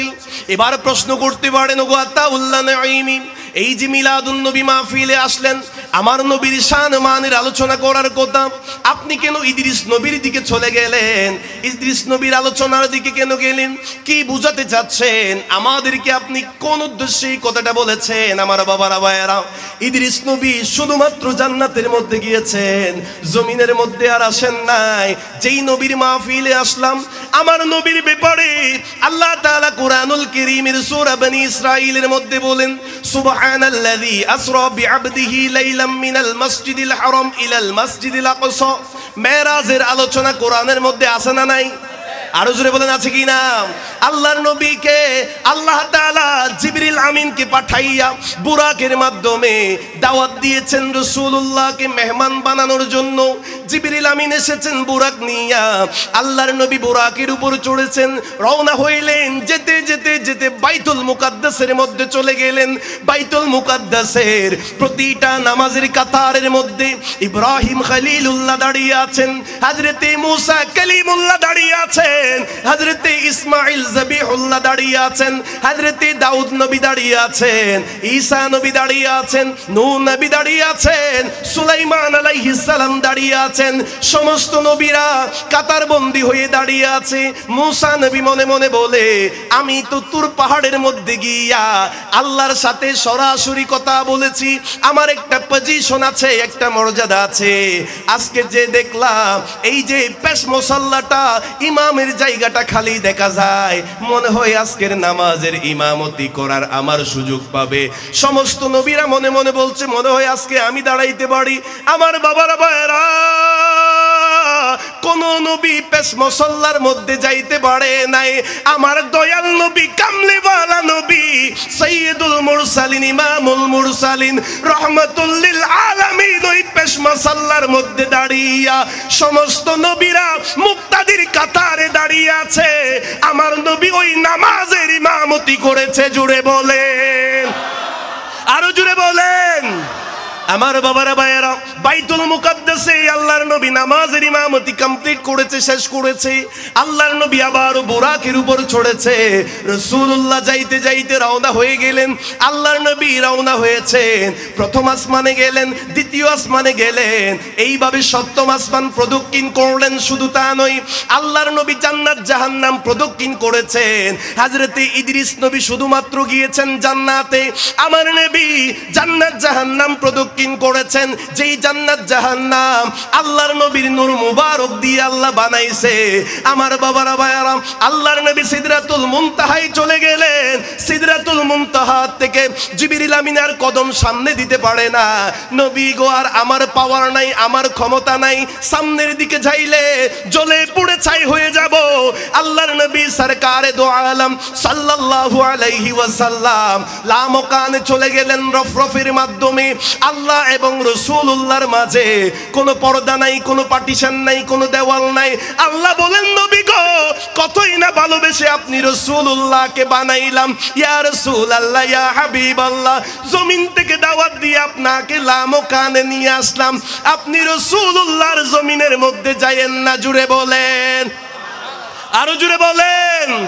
আল্লাহ তাআলা রাসূলুল্লাহকে বলেছে, ইয়া রাসূলুল্লাহ, ইয়া হাবিবাল্লাহ, জমিনের মধ্যে আর যায়েন না। জমিনের মধ্যে আর যাওয়ার কোনো প্রয়োজন নাই। আর আমার কামলিওয়ালা নবী জবাব দিয়েছেন, ও মাহবুদ রব্বুল আলামিন, থাকতে মন চাইলেও থাকতে পারব না। কারণ জমিনের মধ্যে আমি আমার গুনাহগার উম্মতকে রেখে এসেছি। আরও জুড়ে বলেন।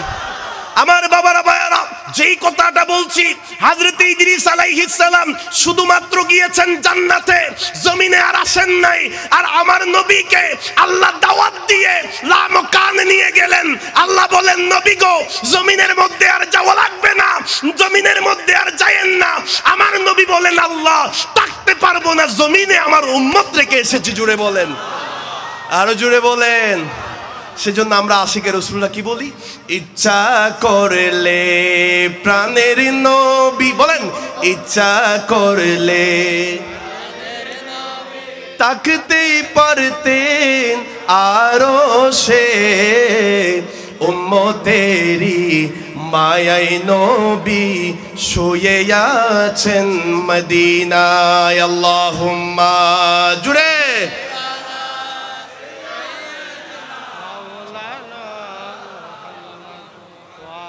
وعلى آله আপনাদের কষ্ট লাগছে আমার মনে কি যে কষ্ট কেউ তো বুঝে না যদিও বা এখন কষ্ট লাগছে না সবার অন্তরে কিছু না কিছু কষ্ট আছে না অনেকে বলে হুজুর আমার ফ্যামিলির টেনশন আছে আমার সাংসারিক ঝামেলা আছে আমার ছেলে মেয়ের টেনশন আছে, কষ্ট আছে। আমার ব্যবসায় লস খাইলাম করোনা ভাইরাসের কারণে বড় কষ্টের মধ্যে আছি। আর আশেকে রসুলদের অন্তরেও একটা কষ্ট আছে না? আরও জোরে বলেন, আছে কি না? আমার মনে কি যে কষ্ট, কেউ তো বুঝে না। আমি শয়নে স্বপনে দেখি। সবাই বলছে না, আমি শয়নে স্বপনে দেখি। সোনার মদিনা শব্দটা বড় আওয়াজে বলা যাবে না? আরও জোরে বলেন, যাবে? আমি শয়নে স্বপনে দেখি সোনার মদিনা। আমি শয়নে স্বপনে দেখি আমার মনে কি যে কষ্ট, আমার মনে কেউ তো বুঝে না, আমি শয়নে স্বপনে দেখি সোনার মদিনা। আমি শয়নে স্বপনে দেখি মদিনা যদি যেতে পারি, ফিরে আর আসব না বাড়ি। আসার ইচ্ছা আছে? আল্লাহ আমাদেরকে সোনার মদিনাই কবুল করে নাও। আরও জোরে বলেন, আমিন। মদিনা যদি যেতে পারি, ফিরে আর আসব না বাড়ি। বলেন, মদিনা যদি ফিরে আর আসব না বাড়ি। দয়াল নবীর কদম ছাড়া থাকতে পারি না। হায়রে নবীর কদম ছাইড়াই আমি থাকতে পারব না। আমি শয়নে স্বপনে দেখি। আরও জোরে জোরে আমি শয়নে স্বপনে দেখি। আমার মনে কি যে কষ্ট, আমার মনে আরও জোরে জোরে, আমার মনে কষ্ট কেউ তো বুঝে না। আমি শয়নে স্বপনে দেখি সোনার মদিনা। আমি শয়নে স্বপনে দেখি সোনার মদিনা। আল্লাহুম্মা জুড়ে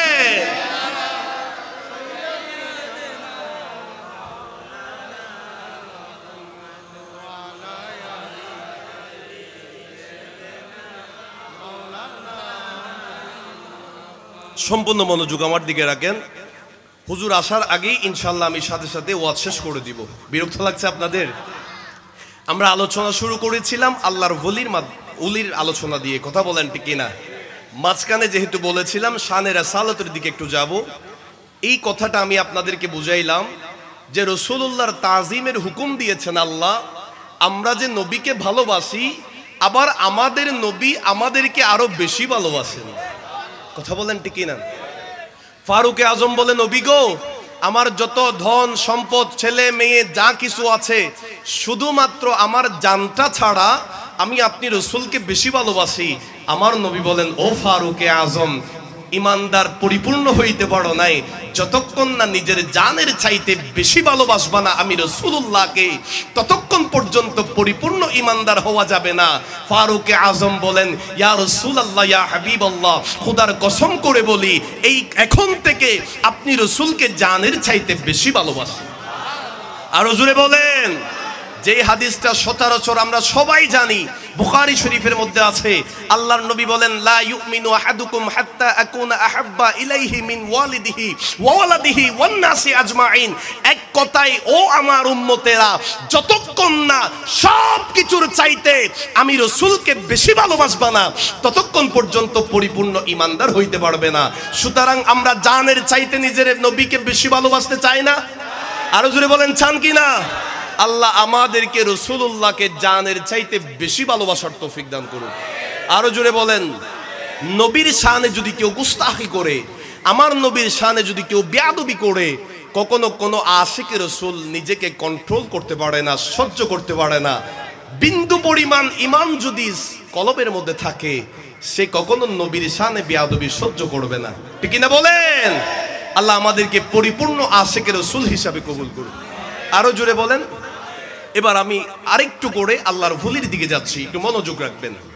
একটা হাদিস শরীফ বলছি, যে হাদিসটা ইবনে মাজা শরীফের চার হাজার একশত পনেরো নম্বর হাদিস। কত নম্বর বলেছি বাবা? চার হাজার একশত পনেরো নম্বর হাদিস। হাদিসগুলা আমরাও পড়ি, তারাও পড়ে। তারা মানে কারা? যারা বলি আল্লাহ বিরোধী। কথা বলেন ঠিকই না বড় আফসোস লাগে, কষ্ট লাগে। আল্লাহর বলিদের শান মান হাদিসের মধ্যে আমরা পাই, তারা কেন পাই না? ঠিকই না বলেন না? যে হাদিসের মধ্যে আল্লাহ নবী বলেছেন, আন মুআয ইবনে জাবালিন রাদিয়াল্লাহু তাআলা কল। ইবনে জাবাল রাদিয়াল্লাহু তাআলা বর্ণনা করেন, কল রাসূলুল্লাহ সাল্লাল্লাহু আলাইহি ওয়াসাল্লাম, আলা উখবিরুকা আন মুলুকিল জান্নাহ? ও আমার উম্মতেরা, সাহাবীরা তোমরা কি জান্নাতের বাদশাদের পরিচয় জানতে চাও না? আরও জোরে বলেন। জান্নাতে কিছু প্রেসিডেন্ট থাকবে, সরকার থাকবে বাদশা থাকবে। সেই বাদশাগুলার পরিচয় কি তোমরা জানতে চাও না? আমার বাবারা বায়ারা এই যে আমরা বাংলাদেশের মধ্যে আছি, বাংলাদেশের নাগরিক, যদি আমাদের বাংলাদেশের যিনি প্রধানমন্ত্রী প্রেসিডেন্ট যিনি আছেন ওনার পরিচয় যদি আমরা জানতে চাই, ইউটিউবের মধ্যে চার্জ দিলে, গুগলের মধ্যে প্রধানমন্ত্রীর নাম লিখে দিলে, দেশের নাম লিখলে অ্যাড্রেস আসে যায় কথা বলেন ঠিক না যদি আমরা আমেরিকার প্রেসিডেন্ট যিনি ওনার পরিচয় যদি জানতে চাই, বিভিন্ন ভারত, পাকিস্তান, বিভিন্ন কান্ট্রির যদি কোনো দেশের প্রধানমন্ত্রীর কোনো বাদশার যদি আমরা পরিচয় জানতে চাই, অ্যান্ড্রয়েড মোবাইলের মধ্যে গুগলের মধ্যে লিখে দিলে এসে যাবে, কথা বলেন টেকে না আমার বাবারা, ভাইয়ারা, জান্নাতের মধ্যে কিছু বাদশা থাকবে, কিছু প্রেসিডেন্ট থাকবে, কিছু সরকার থাকবে, যাদের পরিচয় জানার জন্য আল্লাহর নবীর হাদিস যদি উল্টায় রসুল্লাহর হাদিসের মধ্যে যদি চার্জ করি, তাইলে জান্নাতের বাদশাদের পরিচয় পাওয়া যাবে, জোরে বলেন। আল্লাহর নবী বলেন, ও আমার সাবিরা আমি কি তোমাদেরকে জানাব না, পরিচয় দিব না, জান্নাতে বাদশা কারা হবেন? জান্নাতের মধ্যে কারা বাদশা থাকবেন? জান্নাতের সরকার যারা হবে, জান্নাতের প্রেসিডেন্ট কারা হবে, তাদের পরিচয় কি আমরা তোমাদেরকে দিব না। সমস্ত সাহাবাইকরামরা বলেন, কুলতু বালা ইয়া রাসূলুল্লাহ, ওগো দয়ার নবী, মায়ার নবী, কামলি বালা নবী, আমরা জানতে চাই, তাদের পরিচয় আমাদের জানার খুবই ইচ্ছা। যারা জান্নাতের মধ্যে প্রেসিডেন্ট হবে, জান্নাতের মধ্যে সরকার হবে জান্নাতের মধ্যে প্রধানমন্ত্রী যারা হবে, নবী গো, তাদের পরিচয়টা আমাদেরকে একটু দেন না। আল্লাহর নবী সরকার দু আলম, যিনি গায়েবের খবর দিতে পারেন, অদৃশ্যের সংবাদদাতা নবী, ভবিষ্যতে কি হবে, না হবে, কারা জান্নাতের প্রধানমন্ত্রী হবে, আমার দয়াল নবী বলতে পারে কি পারে না? আমার বাবার ভাইয়েরাম আল্লাহর নবী সরকারে দু আলম সাল্লাল্লাহু তাআলা আলাইহি ওয়াসাল্লাম বলেন, ও আমার উম্মতেরা শোনো, ও আমার সাহাবীরা, তোমরা শোনো, ক্বালা রাজুলুন দাঈফুন মুস্তাদআফুন যুতাম যুতিমরাইনি লা ইউবাহু লাহু লাউ আকসামা আলা আল্লাহি লাবারাহু আল্লাহর নবী বলেন, হাটে, বাজারে, বিভিন্ন রোডে, ঘাটে এমন কিছু মানুষ দেখা যাবে, যেই মানুষটা একেবারে চুলগুলা এলোমেলো অবস্থায়, ধুলিবালি মাকা অবস্থায়, একেবারে দুর্বল, শক্তিহীন মানুষ। যার কাপড়গুলো একেবারে ছেঁড়া পাটা কাপড় পরিধান করা অবস্থায়, রাস্তায় দেখলে পাগলের মতো লাগবে, এমন কিছু মানুষ আছে কিনা? আরও জোরে বলেন, আছে কিনা আমার বাবারা বায়ারা ও যুবক বায়ারা সকলকে আজকের মাহফিল থেকে করো জোরে আবেদন করব? রাস্তাঘাটে অনেক যুবকের অভ্যাস আছে। কোন পাগল দেখলে একটু ডিস্টার্ব করতে চাই মস্কারি করতে চাই কথা বলেন টেকে না আমার বাবারা বায়ারা আল্লাহর নবী সরকারে দু আলম সাল্লাল্লাহু তাআলা আলাইহি ওয়াসাল্লাম বলেন, ও আমার উম্মতেরা, রাস্তার মধ্যে পাগল দেখলে দুষ্টামি করবা না। রাস্তার মধ্যে কোন পাগল দেখলে তাদের সাথে মস্কারি করবে না। কেন এই পাগলের মতো যাদেরকে দেখা যায়? একেবারে শক্তিহীন দুর্বল যাদের চুলগুলা এলোমেলো অবস্থায়, চেহারার মধ্যে ধুলিবালি মাখা অবস্থায়, কাপড় যেটা পড়বে সেটা ফটা সেটা কাপড়। আমার বাবারা ভাইয়েরা, যদিও বা মানুষটাকে দেখতে পাগলের মতো লাগবে, আমার দয়াল নবী বলে দিলেন, সেই মানুষটা দুই মানুষগুলার মধ্যে কিছু কিছু জান্নাতের বাদশা রয়েছে জুড়ে বলে। আরও জুড়ে বলেন। আল্লাহর নবী সরকার দু আলম সাল্লাল্লাহু আলাইহি ওয়াসাল্লাম বলেন, লাউ আকসামা আলাল্লাহি লা বাররাহু ওই যে পাগলের মতো দেখতে হলেও যে কোনো কথার উপর, যে কোনো বিষয়ের উপর তারা যদি কসম করে, সেই কসমের জামিনদার হয়ে যায়। আমার আল্লাহ জুড়ে বলেন। আরও জুড়ে বলেন। সেজন্য আমরা দেখা যায় কোন একজন পাগলের সাথে আপনি মস্কারি করলেন, না বুঝে দুষ্টামি করলেন, ওই পাগলটা দেখতে পাগল মনে হলেও যে উনি যে আল্লাহর বলি জান্নাতের বাদশা বুঝেন নাই, না বুঝে বিয়াদবি করলেন, জীবনটা বরবাদ হয়ে যায়। কথা বলেন ঠিক না আল্লাহ আমাদেরকে চেনার তৌফিক দান করুন। সবার মনে একটা প্রশ্ন থাকতে পারে, হুজুর। জান্নাতের বাদশার পরিচয়টা দিলেন। রাস্তাঘাটে কত রকমের পাগল না আমরা দেখি। ঠিক না বলেন না? এখন কোনটা পাগল, কোনটা জান্নাতের বাদশাহ? চেনার কি কোনো পদ্ধতি আছে? একটা প্রশ্ন আছে না? প্রশ্ন আছে তো? কোনটা পাগল, কোনটা জান্নাতের বাদশা আপনাদের চেনার দরকার আছে? চিনতে চান আপনারা? কিতাবের মধ্যে দেখলাম, আপনি যখন রাস্তা দিয়ে যাবেন, কোন পাগল দেখলে ওনার সাথে দুষ্টামি করার কোনো প্রয়োজন নাই ডিস্টার্ব করার কোনো প্রয়োজন নাই, কথা বলারও কোনো দরকার নাই। শুধুমাত্র ওনার চেহারার দিকে তাকিয়ে তাকিয়ে সাইয়্যিদিনা মুহাম্মাদিন ওয়া আলা আলি সাইয়্যিদিনা মুহাম্মাদিন ওয়া বারিক ওয়া সাল্লিম এভাবে দুরূদ শরীফ পড়তে থাকবেন, অথবা সাল্লাল্লাহু আলাইহি ওয়াসাল্লাম যেই দুরুদ আপনি পড়তে পারেন, শুধু ওই পাগলের চেহারার দিকে তাকাই তাকাই শুধু দরুদ পড়তে থাকবেন। কিতাবে দেখতে পারলাম, ওই পাগলটা যদি মূলত পাগল না হয়ে জান্নাতের বাদশা হয়ে থাকে, উনি কতটুক যাওয়ার পর পিছনের দিকে একটু তাকাইবেন আপনার দিকে তাকিয়ে একটা মুচকি হাসি দিয়ে দিবে। যখনই এই হাসিটা দেখতে পারবেন, খুদার কসম করে বলি, তিনি যদিও বা পাগলের মতো দেখতে লাগে, তিনি পাগল নয়, জান্নাতের বাদশা জুড়ে বলেন। আল্লাহ।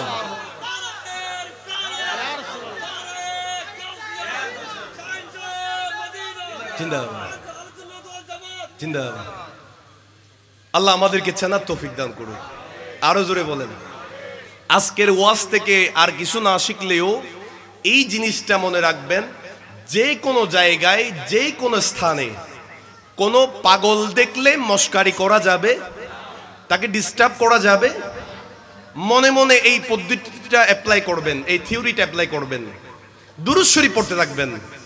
যদি মূলত আল্লাহর বলি হয়ে যায়, জান্নাতের প্রেসিডেন্ট হয়ে যায়, সরকার যদি হয়ে যায়, তাইলে তো আপনার দিকে থাকিয়ে মুচকে হাসি দিয়ে দিবে। আর জান্নাতের সরকারকে যদি দুনিয়াতে রাজি করতে পারেন, তাইলে তো জান্নাতে আর কোনো কিছুর অভাব হবে না। সরকার থেকে যা চান তা দিয়ে দিবে। আরও জোরে বলেন, স্বাভাবিকভাবে আমাদের মন্ত্রী মিনিস্টাররা যারা আছে, সর্বক্ষণ সরকারকে সন্তুষ্ট করতে চায়। কথা বলেন ঠিক না কারণ সরকার যদি সন্তুষ্ট না থাকে, এলাকার উন্নয়ন কখনো হবে?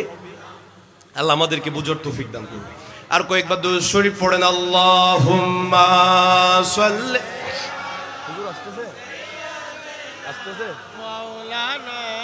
মোহাম্মদ ওয়ালা আলি সাইয়্যিদিনা। যদিও বা আজকের এই আলোচনাটা সংমিশ্রণ শানে রেসালত আছে শানে বেলায়ত আছে। কোনো অসুবিধা হচ্ছে?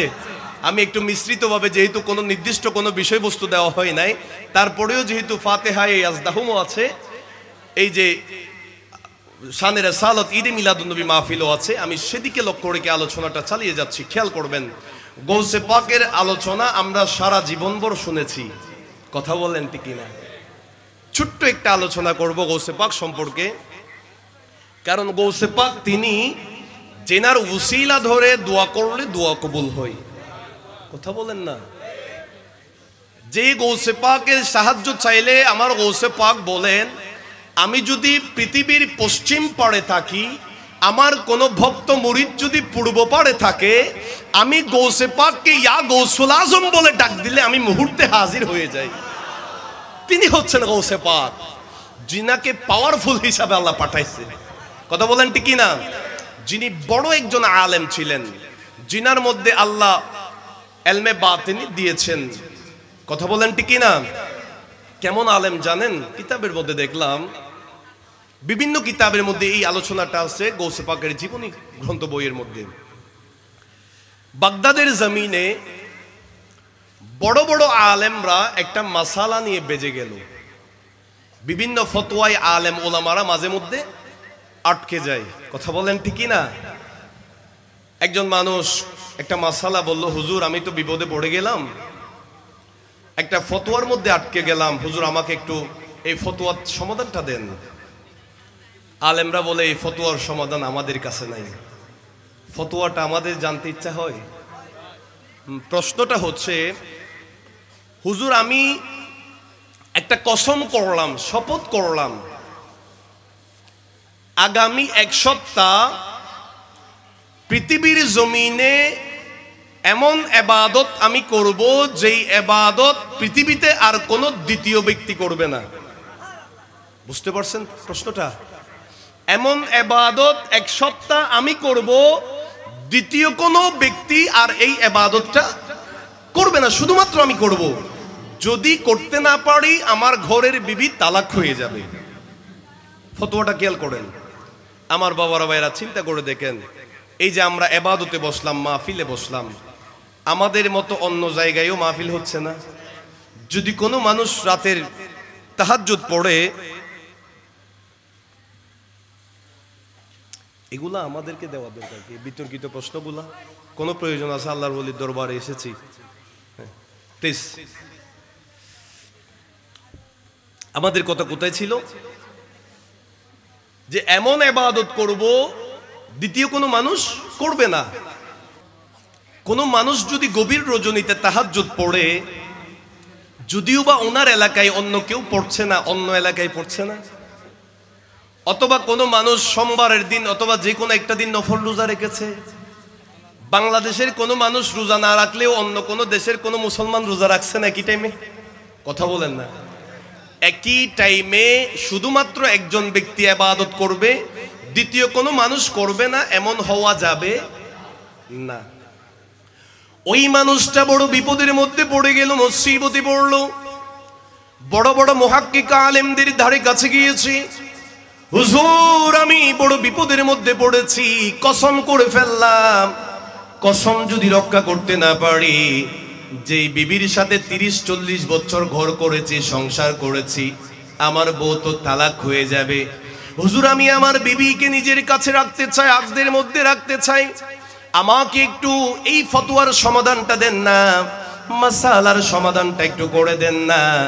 আমার বাবারা, ভাইয়ারা, সমস্ত আলেম ওলামারা এক বাক্যে জবাব দিয়েছে, এই মাসালার সমাধান আমার কাছে নাই। একজন আলেম বলে, তুমি এদিক সেদিক কুড়াপেরা না করে, দৌড়াদৌড়ি না করে তুমি বাগদাদের জমিনে হজরতে সৈয়দুনা আব্দুল কাদের জিলানি রাদিয়াল্লাহু তাআলা আনহুর কদমে চলে যাও। ওই মানুষটা ফতোয়া নিয়ে হুজুর গৌসে পাকের কদমে আসলেন। হুজুর, বড় বিপদের মধ্যে পড়ে আপনি এর কদমে এসেছি, আপনার কাছে আসলাম। গৌসে পাক জিজ্ঞাসা করলেন, তুমি কি কারণে এসেছ? ওই মানুষটা বলে, হুজুর আমি তো একটা কসম করে ফেললাম। পৃথিবীর জমিনের মধ্যে এমন কোন আবাদত শুধুমাত্র আমি করব এক সপ্তাহ, অন্য দ্বিতীয় কোনো মানুষ করতে পারবে না। যদি করে, আমার বিবি তালাক হয়ে যাবে। যদি আবাদতটা করতে না পারি, তাইলে আমার বিবি তালাক হয়ে যাবে। আমার বাবারা ভাইয়ারাম হাজরতে গৌসি পাক এই প্রশ্নটা যখন শুনেছেন, কিতাবের দিকে যাই নাই, লাইব্রেরিতে কোনো কিতাব খুঁজে নাই আমার গোসে পাক, ওই মানুষটাকে সাথে সাথে ফতোয়ার সমাধানটা দিয়ে দিয়েছেন। ও আল্লাহর বান্দা, শুনো শুনো, তুমি দেরি না করে মদিনা শরীফের আরব কান্ট্রির মধ্যে মক্কা শরীফের যিনি প্রধান সরকার, ওনার সাথে যোগাযোগ করো, ওনাদের সাথে কথা বলো। আগামী এক সপ্তাহ খানাই কাবার তাওয়াফ যেন সবার জন্য বন্ধ, শুধু তোমার জন্য ওপেন করে, শুধুমাত্র তুমি খানাই কাবার তাওয়াফ করবা। কারণ পৃথিবীর জমিনে তো দ্বিতীয় আর কোনো খানাই কাবা নাই, কথা বলেন ঠিক না এক সপ্তাহ যদি সমস্ত মানুষের জন্য বন্ধ রেখে কাবা শরীফের তাওয়াফ তোমার জন্য চালু করে দেয়, তাইলে তোমার কসম রক্ষা হবে। তোমার গরের বিবি আর আগদের থেকে বের হবে না। তোমার শপথটা আল্লাহর কাছে রক্ষা হবে, জুড়ে বলেন। আরও জুড়ে বলেন। আমার গৌসে পাক তেমন আলেম, ফতোয়া এসেছে, কিতাবের দিকে দেখে নাই, সাথে সাথে ফতোয়ার সমাধানটা দিয়ে দিলেন। আরেকটু জুড়ে বলেন। যে একটা কথা বলেছিলাম, আল্লাহর ভলিরা সাথে সাথে একটা মানুষ আসলেই অন্তরের খবর বলে দিতে পারে। কথা বলেন ঠিক না আমার বাবারা ভাইয়েরা, আমরা সবাই জানি ও সেপাকের আলোচনার থেকে আমাদের অনেক শিক্ষণীয় বিষয় আছে, বড় দুঃখ লাগে। আমরা রাতের পর রাত গৌসে পাকের জীবনী শুনি, মজা পাই, অনেক ভালো লাগে। তবে দুঃখের বিষয়, সেখান থেকে আমরা শিক্ষণীয় বিষয়গুলা এড়িয়ে চলি। সেখান থেকে শিক্ষাগুলা গ্রহণ করি না। কথা বলেন ঠিক না আমাদের মা বোনেরা ওয়াজ শুনছে না? প্রজেক্টরের মাধ্যমে বস শুনছে না? আমি সকল মা বোনদের উদ্দেশ্যে বলব প্লিজ যদিও বা এতক্ষণ কথা বলেছেন আর কয়েক মিনিট সময়টা কথাবার্তা বন্ধ করেন, গুরুত্বপূর্ণ কথা বলছি। গৌসে পাকের আব্বাজান, ঘটনা সবাই জানি, আমি জাস্ট শিক্ষণীয় বিষয়টা তুলে ধরছি, খেয়াল করবেন। গৌসে পাকের আব্বাজান নদীতে বেসে আসা ফলটা খেয়েছেন চিন্তা করলেন, খিদার যন্ত্রণায় ফলটা খেয়ে নিলাম। বাগানের মালিক থেকে তো অনুমতি নিলাম না। এখন কি করব কি করব? অনুমতি ছাড়া ফল খেয়ে নিলাম। হাসরের ময়দানে আল্লাহর আদালতে মাথা তুলবো কেমনে? বাগানের মালিক থেকে তো ক্ষমা চাইতে হবে, জোরে বলেন। আরও জুড়ে বলেন। হুজুর গৌসে পাকের আব্বাজান রওনা হয়ে গেলেন। এত আসতে বললেন। এই যে আজকের মাহফিলের মেহমানে আলা আমাদের মাঝে তশরিফ এনেছেন আমরা খুশি না বেজার। আর একটু জুড়ে বলেন খুশি না বেজার। আল্লাহ পাক হুজুরের হায়াতে, খেদমতে এলমে আমলে সারা বাংলার বিভিন্ন জায়গায় হুজুর যে খেদমত করছেন, আমরা একেবারে ছোট্টবেলা থেকে হুজুরের ওয়াজ শুনে আছি। আল্লাহ হুজুরের খেদমতে অফুরন্ত বরকত দান করুন। আরও জুড়ে বলেন, শুধু হুজুরের ওয়াজের বক্ত আমি না, আমার পরিবারের সবাই হুজুরের বক্ত। আলহামদুলিল্লাহ বলেন পরিবারের প্রত্যেকটা সদস্য ওয়াজ চললে বলে যে, হাসান রাজা হুজুরের ওয়াজ শুনব। আল্লাহ হুজুরের খেদমতে অফুরন্ত বরকত দান করুন। হুজুর থেকে আমি অনুমতি নিয়েছি, কয়েকটা মিনিট যেহেতু আলোচনা শুরু করেছি, এটা আমি ইতি টানবো। দরকার আছে না? মনোযোগ। যদিও বা ঘটনা আমাদের একেবারে মুখস্থ, ঠুটস্থ, কণ্ঠস্থ। কথা বলেন ঠিক কিনা? গৌসে পাকের বাবা সাগর থেকে ফল খেয়েছে।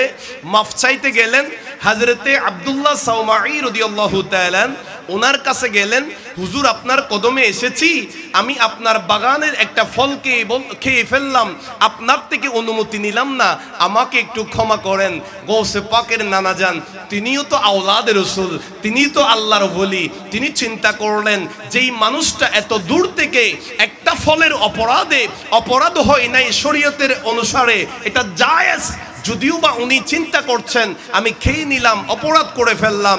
গৌসে পাকের নানা যান বলে, তারে তো হাত ছাড়া করা যাবে না জুড়ে বলে। আরও জুড়ে বলেন আমি আপনাকে ক্ষমা করতে পারি, তবে আমার গড়ে, আমার বাগানে বারো বছর চাকরি করতে হবে।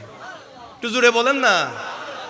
রাস্তায় যদি পাঁচ হাজার টাকার একটা বান্ডেল পান, কোন একটা মানুষ যে এই বান্ডেলের মালিক যিনি পেয়ে নিলেন, হুজুর বা ওগো এই বান্ডেলের মালিক, টাকার মালিক আমি আপনার অনুমতি ছাড়া এখান থেকে দুই হাজার টাকা ব্যাঙ্গে ফেলছি আর তিন হাজার টাকা আপনি ফিরান নেন। সে যদি বলে, তুমি আমার দুই হাজার টাকা কেই ফেলছো? আজকে একটা দিন আমার চাকরি করো। বলবে যে, আপনার টাকারেও সালাম, আপনারেও সালাম। কথা বলেন ঠিকই না গৌসে পাকের আব্বাজান বলে, হুজুর, অসুবিধা নাই, আমি বারো বছর চাকরি করতে রাজি।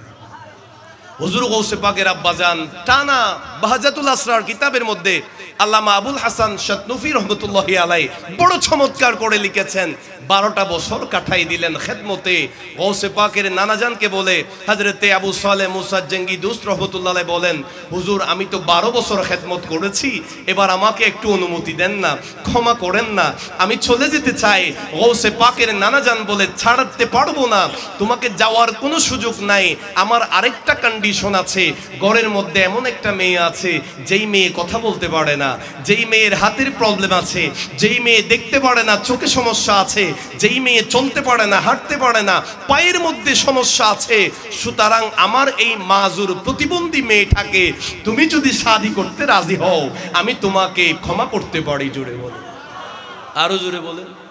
কোনো মানুষ যদি বলে, আমার দশতলা বিল্ডিং আছে, যেই ছেলে আমার এই ল্যাংড়া, এই মেয়েটাকে অথবা অন্ধ প্রতিবন্ধী মেয়েটাকে যদি বিয়ে করবে বলে, আমি তাকে দশতলা বিল্ডিং লিখে দিব, সে বলে যে, কোনো দরকার নাই, বিয়ে করব জীবনে একবার, সুতরাং ভালো থেকে দেখেই করব, মেয়ে যাকে নিয়ে যাব, চলবো, যার সাথে সংসার করব।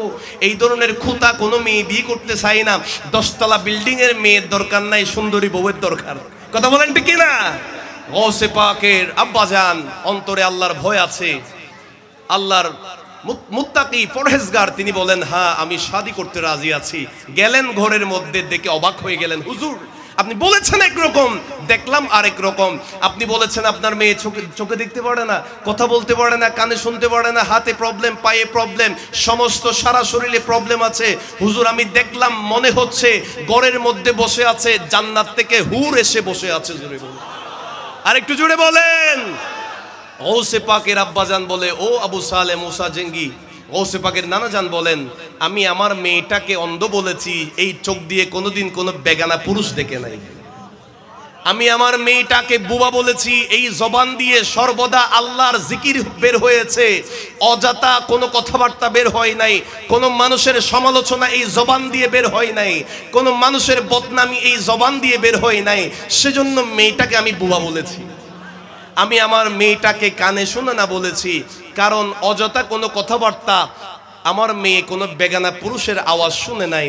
সেজন্য আমি মেয়েটাকে কানা বলেছি, কথা শুনতে পারে না বলেছি, আমার বাবারা বায়ারা যেই মেয়েটার হাতে প্রবলেম আছে বললাম, এই হাত দিয়ে কখনো কোনোদিন আল্লাহ নারাজ হবে এমন কোনো কাজ করে নাই, সর্বদা আল্লাহকে রাজি করার নিয়তে কাজ করেছে। যেই পায়ে ল্যাংড়া বলেছি, হাঁটতে পারে না, চলতে পারে না, এই জন্য বলেছি, যেই পা দিয়ে কখনো কোনো দিন কদম রাখে নাই, যেই কাজে আল্লাহ নারাজ হবে, এমন কোনো কাজে কদম রাখে নাই, হাঁটে নাই আমি আমার মেয়েটাকে এভাবে বললাম, সুতরাং আমি অনেক বছর ধরে টেনশনে পড়লাম, আমার মেয়ের উপযুক্ত কোনো পাত্র পাবো কিনা? আমি কুঁজতে কুঁজতে তুমি আবু সালে মৌসা জঙ্গিকে পেয়ে গেলাম, হাত ছাড়া করি নাই। আমি মানিকটাকে ধরে রাখলাম। আমার বাবারা বায়ারা গৌসে পাকের আব্বাজান আল্লাহ ওয়ালা ছিলেন। গৌসে পাকের মা জননী আল্লাহ ওয়ালা ছিলেন। নেককার ছিলেন, সলেহা ছিলেন ফরহেজগার ছিলেন। গৌসে পাকের মা জননী এমনভাবে পর্দা করেছে। আমার বাবারা বায়ারা মা বোনেরা শুনেন, ও কোনো মা বোন যদি গর্ভবতী হয়, সন্তান যদি রেহেমে আসে, স্বামী বলে যে, আমার বউকে কোনো কাজ করতে ডাক্তার নিষেধ করেছে? তুমি কোনো কাজ করবা না, শুধুমাত্র বাসার মধ্যে শুয়ে শুয়ে থাকবা। আমি ওই টিভির রিমোটটা তোমার হাতে ধরাই দিলাম।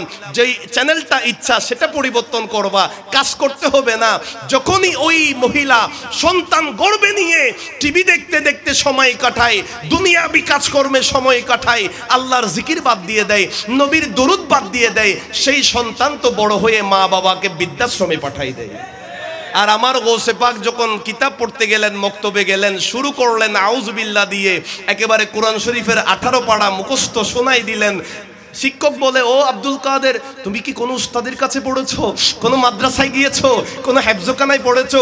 হুজুর, আমি কোথাও পড়ি নাই। আমি যখন গর্বে ছিলাম, আমার মা জননীর গর্বে, আমার মা জননী তো আঠারো পাড়া কোরআন শরীফের হাফেজা ছিলেন। আমার মা আমাকে গর্বে রেখে রেখে প্রত্যেক দিন কোরআন তেলাওয়াত করতেন। মায়ের জবানে পেটে থাকা অবস্থায় শুনে শুনে আমি আব্দুল কাদের জিলানি। দুনিয়াতে আসার সময় আমি আঠারো হাত পাড়া কোরআন শরীফের হাফেজ হয়ে গেলাম জুড়ে বলুন। তিনি হচ্ছেন গৌসে পাক। আল্লাহ আমাদেরকে বুঝার তৌফিক দান করুন আমি আর দেরি করতে চাই না যারা আজকের এই মাহফিল আয়োজন করলেন। বিশেষ করে আমি হুজুরের কদমে ক্ষমা চেয়ে এই মাহফিলটা সমাপ্ত করছি। ওয়াখরদা ওয়ান আনিল আলহামদুলিল্লাহ রবিল আলমিন। আসসালামু আলাইকুম